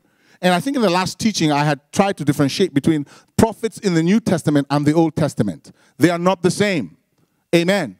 In the Old Testament, the Lord spoke and he said, And I will raise up a prophet in your midst. Listen to the word raise up a prophet. That one you read says, What? If a prophet arise in your midst. Hallelujah. So it's not for me to come up and you know print a card and start giving I'm prophet so and so and so so so. It's something that they will identify. It is something that I have to prove. Do you understand? Something that I have to prove. Make full proof of. Hallelujah. Other people will identify it on you. You know, it's not something you write because today we have so many people, pro- prophet here and apostle this, and every, they just have so many titles that they put on themselves. Hallelujah. And then the real people who are operating those offices call themselves brother so and so. Isn't it interesting? Amen. So the office of the prophet is is is is is more, I may say, is more heavy. It's heavier than just the gift of prophecy. It's possible to, to be a prophet and still have that, you know, run in the family and have that uh, uh, gift of prophecy. Amen. But it's a very serious calling. It's a very weighty calling, if I may use that language. It doesn't mean that other offices are not important. Every office is important. The apostle, the Bible says God has set some in the church. First, apostles. So that heaviest is the heaviest. And they are actually, I'm going to show you a diagram the Lord gave me uh, some years ago. They are actually at the bottom of all. Paul said we are tread upon where, you know, they suffer most than everybody else. Amen. So we put the apostle up there on the roof. God puts him on the, on the ground, on the foundation. Do you understand? Hallelujah. So before you begin to call yourself any of those, make sure that you're, you're ready to, to be a foundation that people can step on. Amen. Hallelujah. Hallelujah. So he said, first are apostles, then prophets, then teachers. Hallelujah. Then evangelists and pastors. Hallelujah. I believe the pastor is mentioned last because the pastor is actually the closest to the local body. Amen. Because without, without a local body, you have no church. You understand? You could be apostle so and so or a prophet so and so. Without the local body of Christ, your gifts or your office is no, of no use. Amen. Hallelujah. But what I want you to see there with, the scripture we read from Deuteronomy 13:1, it says, it says, if a prophet arise. Deuteronomy 18, I think verse, uh, let's see if I can find that. I don't know where exactly it is. Deuteronomy 18 talks about the Lord was speaking. He says, If I, the Lord, raise up a prophet. So some of these offices, they are raised. Do you understand? God raises them up. And as we're going to teach next week, you're going to see it's possible to, to sometimes you may be in different offices until you mature in what God has called you. Because when you look at Paul, there was a time the Bible called him, he was among the teachers. The Bible says there were certain prophets and teachers in Antioch. And the Bible mentions Paul in their midst. But in chapter 13, you see actually when Paul entered into his apostolic ministry. Amen. So it's not just something you just wake up and say, oh, I'm now an apostle. No, no, no. God raises you up. Hallelujah. Or a prophet. God raises you up. Even a pastor, God raises you up. See, the problem today is that people think they can get there just through, through, you know, go to Bible school and give a church to pastor. See, if you if the, if you don't have the calling, don't waste your time going to Bible school. The office will kill you. Are you hearing me? If you don't have the calling, it will what? It will kill you. Yes. It's not a business. Somebody said, Oh, these pastors, they like money. Come, come and pastor for one week. If you don't have the calling, it will kill you. Hallelujah. It's that heavy. Hallelujah. You go all sound quiet. So, Dr. Norm, are you sure it'll kill me? Yes, it will kill you. Amen. Hallelujah. So we've talked about the word of prophecy, the spirit of prophecy, the gift of prophecy, and we've talked about the office of the prophet, which we'll continue talking about next week. Acts 11 28 talks about one of the, uh, the New Testament prophets. His name was Agabus. Acts 11 28. Anybody there? Yeah. Mm-hmm. Mm-hmm. Yeah, so in the New Testament, this is one of the prophets that the Bible recognized in the New Testament. And what I was trying to share, uh, I think I shared that the last time I was teaching, was, was the difference between the prophets in the New Testament and the Old Testament is important. Now, in the Old Testament, the Lord said, I will raise up a prophet amongst you. And then he said, Whoever does not listen to this prophet, I will judge. And then he says, Then you will ask, How shall we know this prophet? And God said, This is how you will know the prophet I have sent. For any prophet I have sent, if what he says does not come to pass, then know that I have, I, the Lord, have not sent him. Do you understand? So that was a litmus test for the Old Testament. So it was based on what they said coming to pass. In the New Testament, the Bible did not ask us, and the Bible does not command us to listen to the prophets. He says, when a prophet prophesies, you should do what? Good. How come you allow pastor to answer all the questions? So when the prophet prophesies, you're supposed to judge. In the Old Testament, when he prophesied, they were not supposed to judge. All they could do was wait to see if it came to pass. Because they were led by prophets. They didn't have the spirit. Do you understand? In the New Testament, we're not led by prophets. We are led by the Holy Spirit. And so when a prophet begins to prophesy, he is supposed to confirm what the Lord has already spoken. That's why I tell people if I come out and prophesy and say, Thus said the Lord, Courtney, God is sending you to China. If you don't have a confirmation in your spirit, you better not go anywhere. Or else when you get there, you get stranded. And you cry, God, you sent me here. You say, No, Dr. Noram sent you here. Hallelujah. Amen. And so in the New Testament, we are led by the Spirit of God. And I think there was a scripture I used to, to kind of show us a picture where Agabus came up to Paul.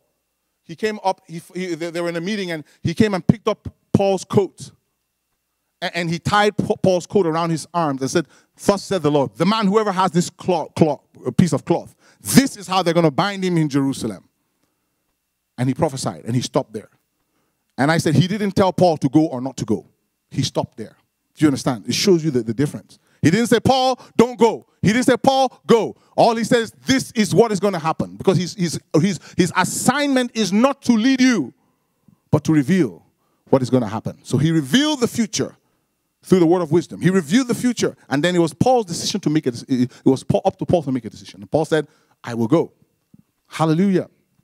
Because today, so many people are led by prophets. We keep running from this meeting to another and looking, looking for a word. Look, better not be running around looking for words, or else you may get a word that may take you away from God. Hallelujah. Amen. Amen. So let's be very careful. The reason why I say this, let's go to that Deuteronomy. Let's just go there. Somebody needs this. Amen. Somebody needs this.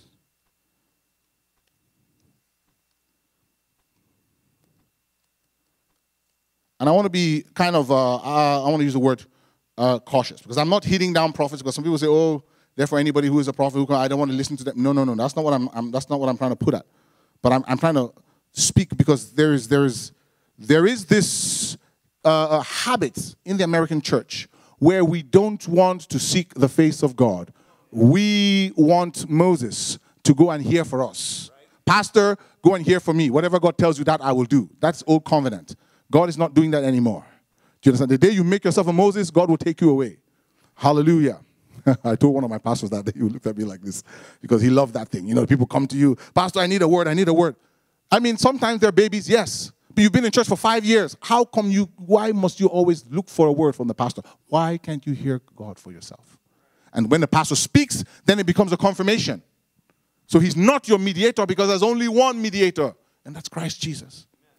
Hallelujah. But we love that, that Christianity that makes us babies, that you know, we don't grow, we don't build ourselves, we don't spend time in the presence of God. And so we expect the minister who's supposed to mature us to do the work for us. His responsibility is to mature you, not to hear God for you. Do you understand? To teach you the word and to mature you.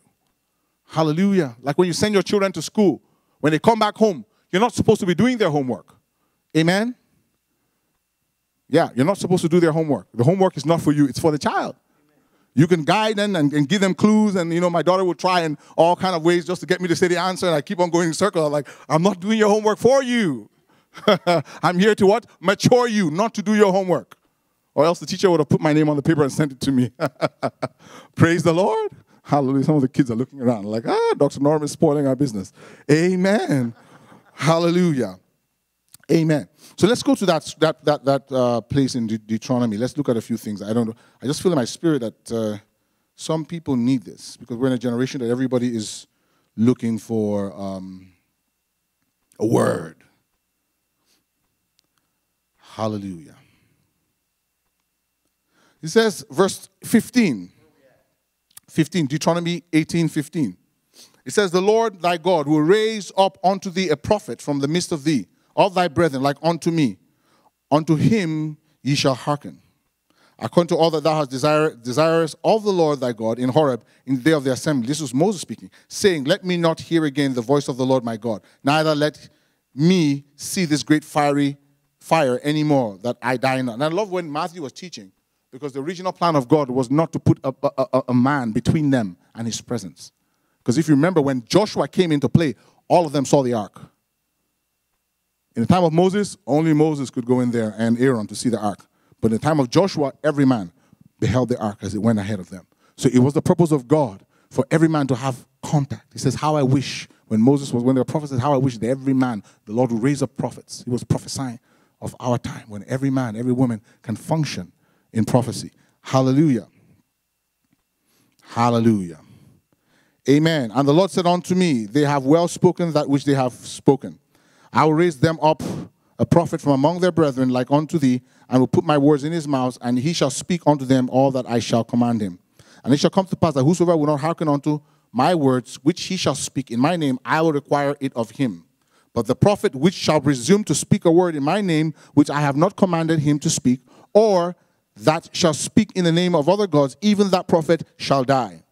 And if thou say in thine heart, How shall we know the word which is the Lord hath not spoken?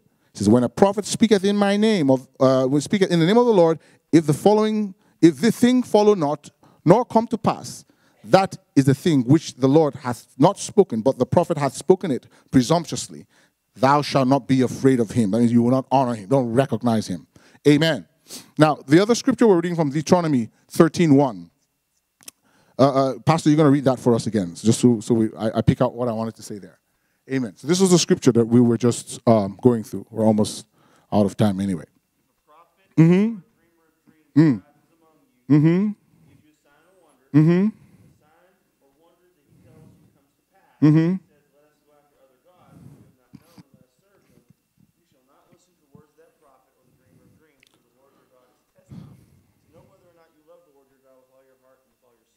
Now, what I want you to see here is the importance because we're this is a generation that loves to follow gifts more than God's uh, uh, character and God's nature.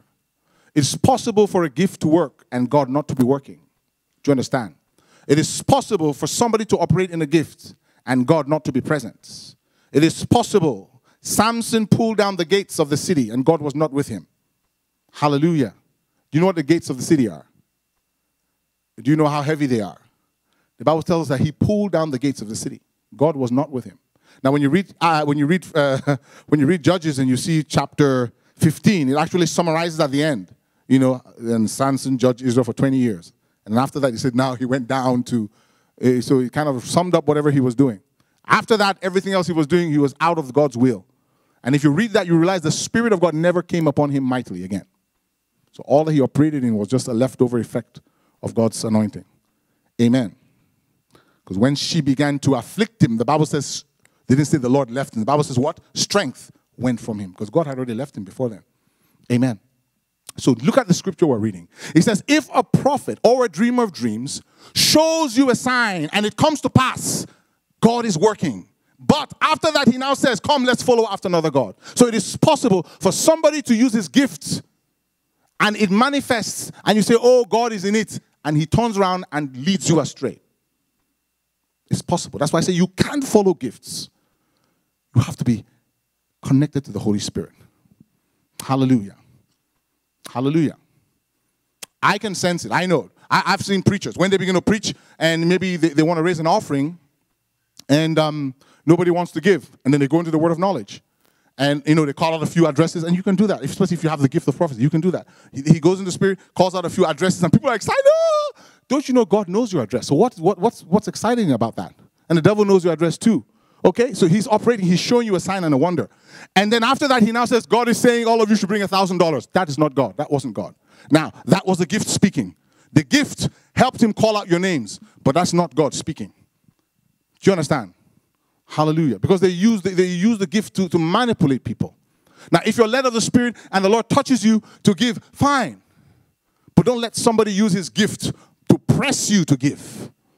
Because that's what's going on in the church today. Hallelujah. And the moment they start calling out people's addresses and their credit card, oh, no, God is good. Hallelujah. Amen. If it is not in your heart to give, if calling your credit card and your address is what's going to make you give, then your heart is not right. You're, gonna, you're supposed to love God. You're supposed to desire to do the will of God. It shouldn't take somebody pulling a rabbit out of a hat to make you believe. Amen. So it's possible to show a sign and a wonder. Amen. And then deceive. How many of us know the story of Balaam? Balaam was uh, uh, uh, uh, he was a seer. I believe he was a man of God. He, he, he, the Bible says the curses that came out from his mouth worked. Do you understand? So uh, God was with him. And, and the Bible says that uh, the king of, uh, where was that? What was his name again? One of the kings want, got, you know, called him to help him curse the people of Israel. All this is in Numbers 22 and 23 all the way down. And, and the Bible says that he, he went with the king. And that night the Lord came to him and said, you will not go with him that I have blessed these people. These are the people of Israel. I've blessed them. And the Bible says Balaam told the king, "Sorry, I can't go with you. The Lord told me that I cannot bless, I cannot curse these people. They're His people." And the Bible says the king went and then brought more noble people and more gifts. And then he said, uh, "Okay, let me seek God one more time." The moment he did that, he was out of the will of God, because the Bible says after that, God was angry with him. And when he went to seek God the second time, God asked him to go. Doesn't it, it looks weird? Here he seeks God, and God says, Don't go. More money comes, he comes again to seek God. Do you understand? and God says, Okay, go. you know, it's like when your child is stopping you, Mommy, I want to go, I want to go. And you, you know that it's, it's not proper for him to go. And when he disturbs you, you say, Okay, go. That means you're going without my blessing. Do you understand? So when God told him the second time, Go, that was what we call the permissive will of God. And that can destroy you. Hallelujah. And the Bible says he went actually out to curse the people of Israel. But every time he tried to curse, God would not permit him. Hallelujah. So, how does a man with the gift of God begin to operate? The Bible says he sought sorcery or enchantments. How can a prophet be operating by the Spirit of God and yet be open to demonic spirits and enchantments? It's possible, it's what we call a mixture. How can Saul, at one time, okay, be trying to kill somebody and the next moment he's prophesying by the Spirit? It's what we call a mixture. Hallelujah. So it takes the, the, the, the Spirit of God to identify where there's a mixture. Praise the Lord. Because a lot of times when the move of God starts, Pastor, when the move of God starts, there's going to be mixture. There are people who are going to speak by the Spirit, and there are people that are going to be doing things that are weird. So we you sh- you should be able to know the one that is not God, okay? The one that is moving on the ground like a snake. I know that's not the Holy Ghost. I don't care if you're, you're prophesying everything correctly. If you're moving on the ground like a snake, that's not God. Amen. It's not God's nature. Do you understand? Hallelujah. So we, we, we should be able to know mixture. Amen. I'm sharing with this, which is very important because in these last days, there is so much out there that can deceive you, that can destroy you. And I don't want to put fear in you because, you know, the Lord told me, He said, listen with your spirit. Don't listen with just with your ears. Why? Because I can say everything that is right to the dot, but I may not be giving you the, the spirit behind which I'm saying it may not be right. Amen? Hallelujah. And at the same time, I may be telling you things that may not be completely accurate, but the, the spirit which I'm communicating may be pure. Do you understand? That's why you need to know to listen with your spirit. Listen with your spirit. Don't just listen with your head. Amen. Or else you will miss out of God's of God's blessing. That was why when you said you were going to that church, I told you listen with your spirit. Don't because you can go there and some people may do some weird things and then you just shut down and say God is not here. No, no, no. You must be able to, uh, as you mature as a Christian, learn to pick the bones out and throw them away and eat the chicken. Do you understand? You, you can pick up those things. When people start doing weird things, you know that, you know, this is not God. But that doesn't mean that I'm going to throw away the baby and the bathwater. Do you understand? I should be able to pick up what is of God. Amen? As a baby, sometimes you don't know, and so, you know, we tell you, okay, be careful, you know, mature. You need to hear the word, you need to mature. But as you mature, you begin to learn and know when God is moving and when it's the flesh. Amen? For instance, that lady that was prophesying, oh, you're my husband, we're not going to call her a devil. No, we just sit her down. She's a baby Christian. You sit her down and tell her that wasn't God speaking, that was you speaking, or your head speaking. That was not even the devil, it was you speaking. Do you understand? We tell her in a way and, and encourage her. And we're not going to tell her, oh, you're the devil. You're you know, this generation, we, we don't know how to balance. So we call her a false prophet. She's not a false prophet. She's just misled. She's a baby. Do you understand? A false prophet, you want to know who a false prophet is? in the New Testament? Go to Acts chapter 13. It tells us who a false prophet is. Acts chapter 13. And so, if we are praying in this place, okay, and there's an atmosphere of the prophetic, okay, and Sister Nina or Sister Courtney, Pastor Courtney, or even Brother Noram begins to prophesy and say, Thus says the Lord, by this time tomorrow, our, our debt will be paid off, okay? And everybody's excited, oh, the Lord has spoken. You know, and by 12 midnight, nothing has happened. And it doesn't happen. It doesn't mean that so and so person is a false prophet. It doesn't make him a false pro- prophet. Do you understand? According to the New Testament. In the Old Testament, we would gather, we would go, where's Sister Nina? Let's go stone her now. Amen. In the New Testament, we don't stone people. Hallelujah. We just know that they were off. They were not listening. They were overexcited. Amen. Hallelujah. Where's the scripture we just wanted to read now? 13. Hallelujah. Someone should read from verse 1. Let me see where you are. Among the prophets and teachers of the church at Antioch of Syria were Barnabas, Sim, uh, Simeon, and Lucius, Manaen, and Saul. Mm, okay. Further down here. I'm looking at this verse. So Barnabas and Saul were sent out by the Holy Spirit. They went down to the what seaport of Seleucia, and the Bible talks about a certain uh, where is that? The sorcerer. That's what I'm looking for. Bar Jesus. Can you read that, please? Yes. Mm-hmm. Mm-hmm. Mm-hmm. Mm-hmm. The governor invited Barnabas and Saul to sit to visit him. Mm-hmm. He wanted to hear the word of God. Mm-hmm. But Elymas, the sorcerer, as his name means in Greek, interfered and urged the governor to pay no attention to what Barnabas and Saul said. He was trying to keep the governor from believing. Now, see the difference. The Bible calls him a false prophet. He was trying to subvert this man's faith and keep him from believing the gospel. And so, the false prophet in our testament or the New Testament is the one who preaches another Jesus. It's not the little brother who was off. Do you understand? Because when we when we carry that, people are afraid to operate in any gift at all. So, if I, what if I'm not right? You know, how am I sure that's God? Just open your mouth and say it. Amen. And when you get it, you know that's God. Hallelujah. That's how the gift of prophecy works. Amen. Sometimes you got to try. Hallelujah. You have that stirring. You just say, I feel this is what God is saying. Amen.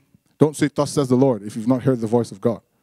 Amen. You can say, I just feel in my spirit. Even Agabus, when you read the scripture we read, the Bible says, signifying by the Spirit that there would be dearth. So he didn't say the Spirit said, he said signifying, because he was more of an actor, a theatrical prophet. He would come and, you know, like Jeremiah, he would do a thing like that, and then he would say, This is what God is saying. So signifying by the Spirit.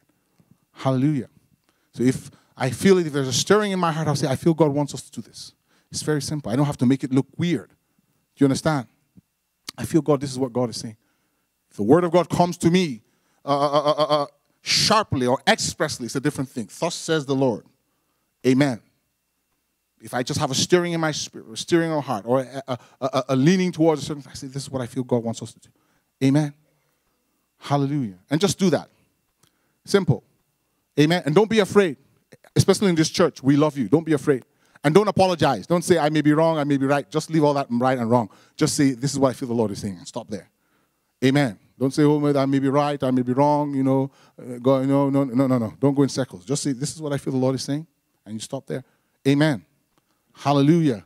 And that's how we exercise, because we talk about exercising gifts.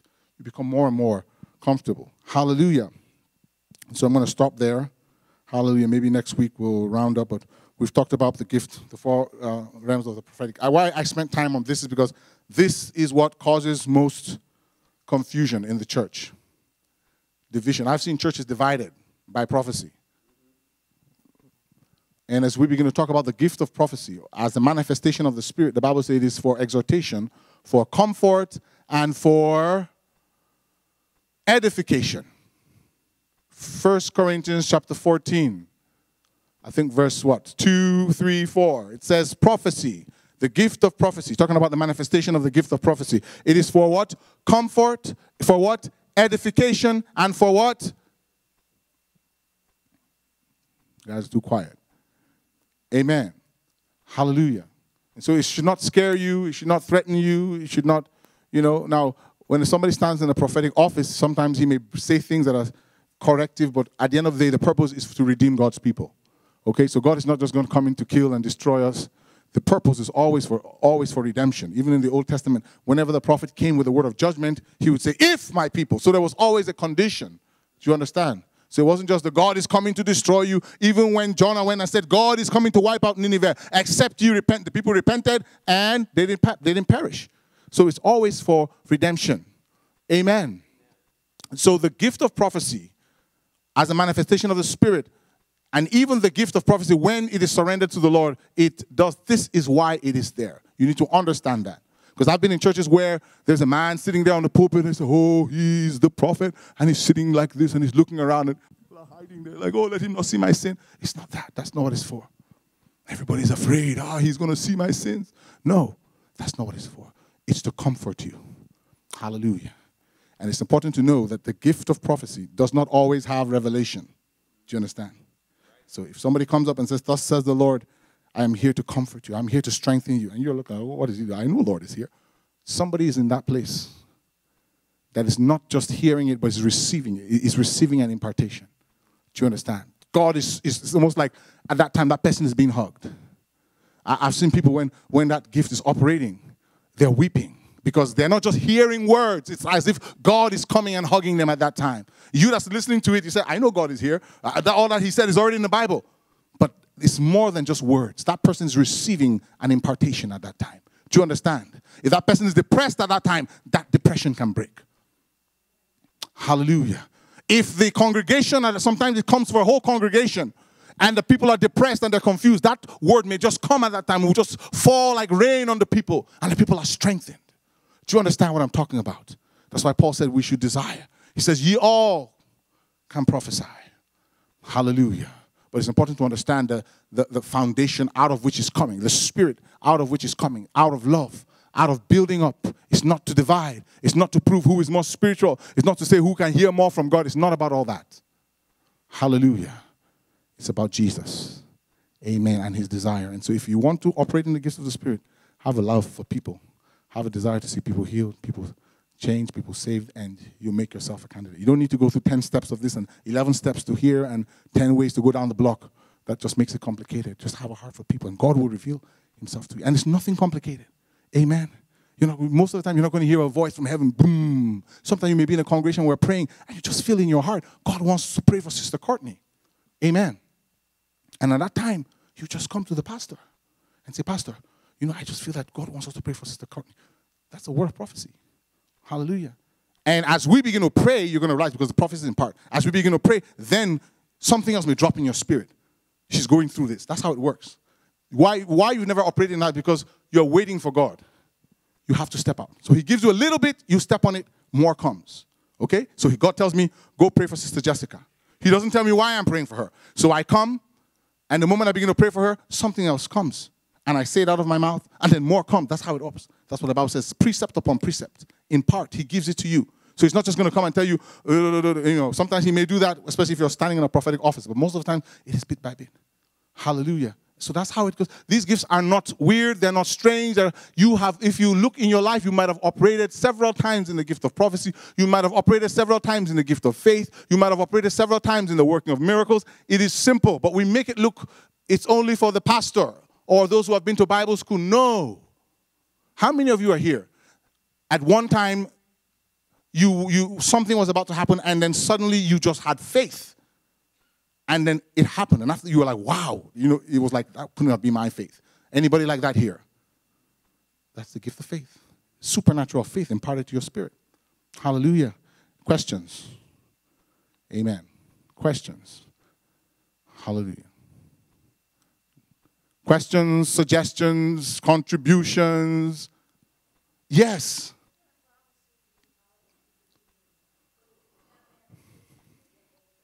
So when you talk about dreams, okay?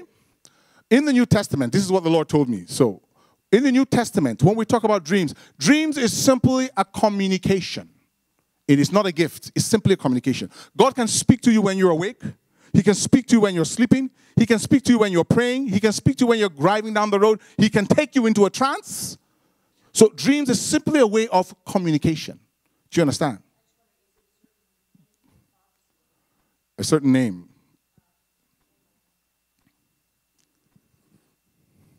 So, I'm just trying to say it's, it's a. So, in the New Testament, there is no gift of dreams. That's what I'm trying to say. So, it's simply, it's just like there's nothing like the gift of trance. I have a gift of falling into a trance. No, no. Trance is just the way God communicates. So in the New Testament, it's more of a way God communicates with you. So God can speak to you while you're sitting there, and He can speak to you while you're sleeping. You know, um, like I once had. This was a. I would call it a word. I don't know if I call it a word of wisdom. I'll call it maybe a word of wisdom, which means the future. Okay. I was. Um, I think I went to pray, and in the middle of my prayer, I fell asleep. I don't know whether I was awake or I don't know, but I fell asleep. And this happened in 2015. And um, when I fell asleep, I, I, I was somehow, you know, I saw my, I traveled out of my body. And I came to this camp. It was, it was, a, it was, it was a, very dark camp. And I saw people with masks on their faces, and they had guns, and they were having a meeting. And first thing came to my mind, these people must be terrorists.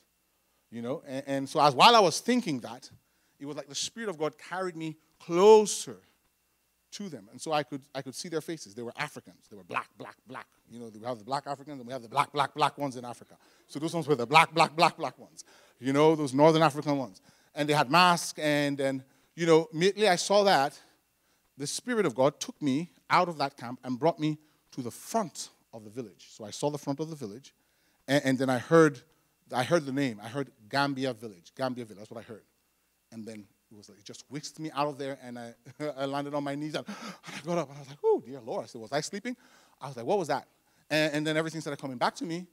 Amen. So that was, maybe you may call it a dream or vision of the night, whatever you want to call it. But there's always purpose in it. That's what I want to say.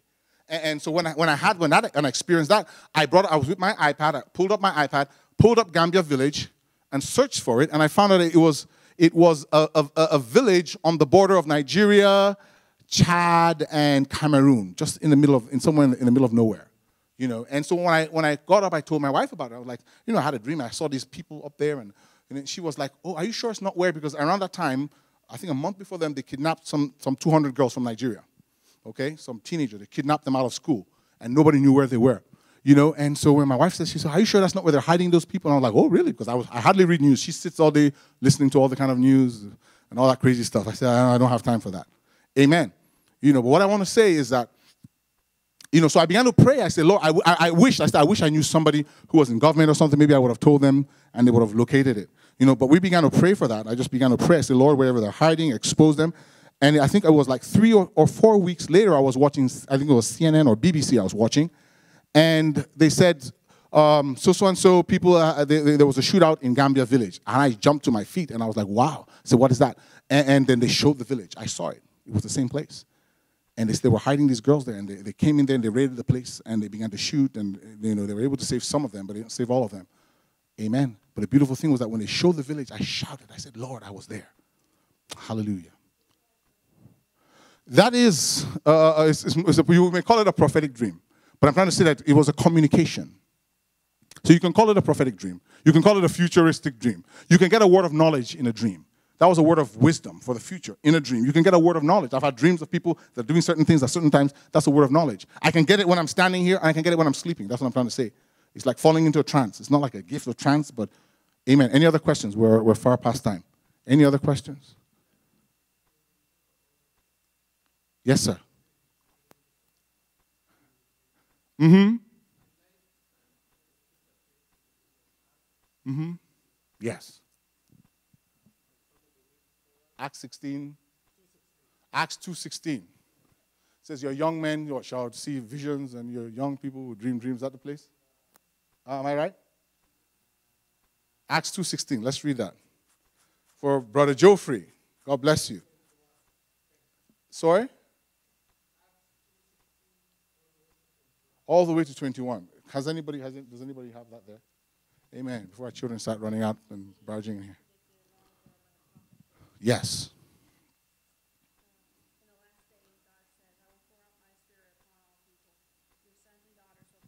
Will speak visions. Mm-hmm. Amen. That's what she, he wanted. Yes, so what did you want to say? You wanted to?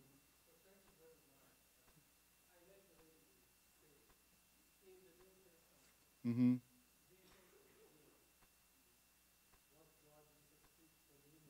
Mm-hmm.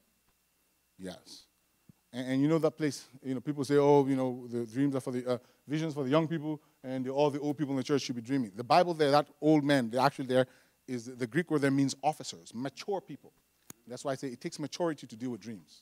Do you understand? To, to interpret and to handle dreams, it takes maturity. Or else you dream about something and you go fighting your neighbors. I saw you in my dream yesterday. You were the one beating me up. You know, a, a lot of immature people do that. Or you say, You're a witch. I saw you in my dream. Yeah. Not necessarily. You, you know, you, you, as you mature, you'll learn how to handle these things that God tells you. Amen. Hallelujah. So this was a weighty night. Uh, a lot of stuff. I, I want to share real quick um, when he was talking about the false prophets and the and the true prophets in the Old Testament, but in the New Testament that kind of changed to where we're spirit led. Uh, there are ways we react to the Spirit as people. Okay, three ways. Real quickly, you could say four, but I'm going to stick with three. One is the flesh's reaction to the Spirit. Spirit shows up, we get excited, we start piping off all kinds of insanity just because we're excited, right? Uh, God didn't speak to us, we're just hype. Okay, and then there is the the the well, that would be the flesh's reaction to the spirit, our natural reaction to the spirit without God speaking to us. Then there's the spirit's reaction to the spirit. The spirit of God moves, it touches us, and then we react with something that functions as a manifestation of the spirit. Then the last one is resistance to the spirit, rejection of the spirit, and that's when like um, Bar Jesus. And I had an experience when I preached what I believe was a word. I'm not a prophet. It's not. It's not the office I walk in. I'm a pastor, and uh, but I was speaking in a prophetic way when I was pastoring because the offices sometimes they, they you can touch all five, although you only function in one majorly. And I was conducting an altar call, and this man came up to me, and he began to operate in a spirit of false prophecy, and he spoke the exact opposite of everything I had just preached. And I just began to rebuke him in my spirit because I didn't know what to do. I, would, I had just become a senior pastor, and I was kind of nervous about that in and of itself. But it was very obvious he was operating in false prophecy. So if someone is a false prophet, if you are discerning or saved in any way, it should be fairly obvious. Amen? So just, just know that if my flesh reacts to the Spirit, I get excited and I kind of get out of line, we're, we're not going to say, oh, you devil. Okay, we're, we're going to, a lot of times, just let it go. And, but if it continues to happen, then we would pull you off to the side and say, brother or sister, um, you know, here's a, uh, the Bible says that Paul went to, uh, the Apostle Paul went to Apollos and told them the more excellent way. You know, here's a better way to do that. Everybody stand. Thank you, young people. I know it was longer than you're used to, and I also know that you're, you're, used, you're, you're used to having some activities and various things. We appreciate you being here. I believe it was important that you were here because uh, the spirit of prophecy, the office of prophecy, all these different elements of prophecy are things that are important for us to learn. So please make sure that you study this. This is available online. Go back and check it out again because, again, this was a weighty night and there was a whole lot of stuff said.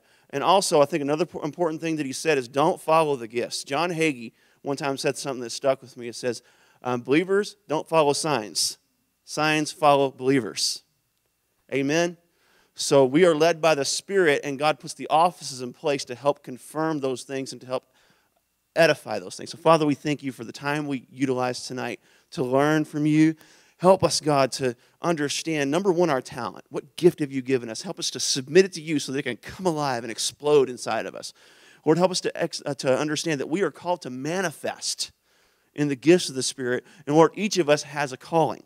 Help us to walk in the calling that we've received. In Jesus' name, God bless you. Don't forget your kids, and have a great evening.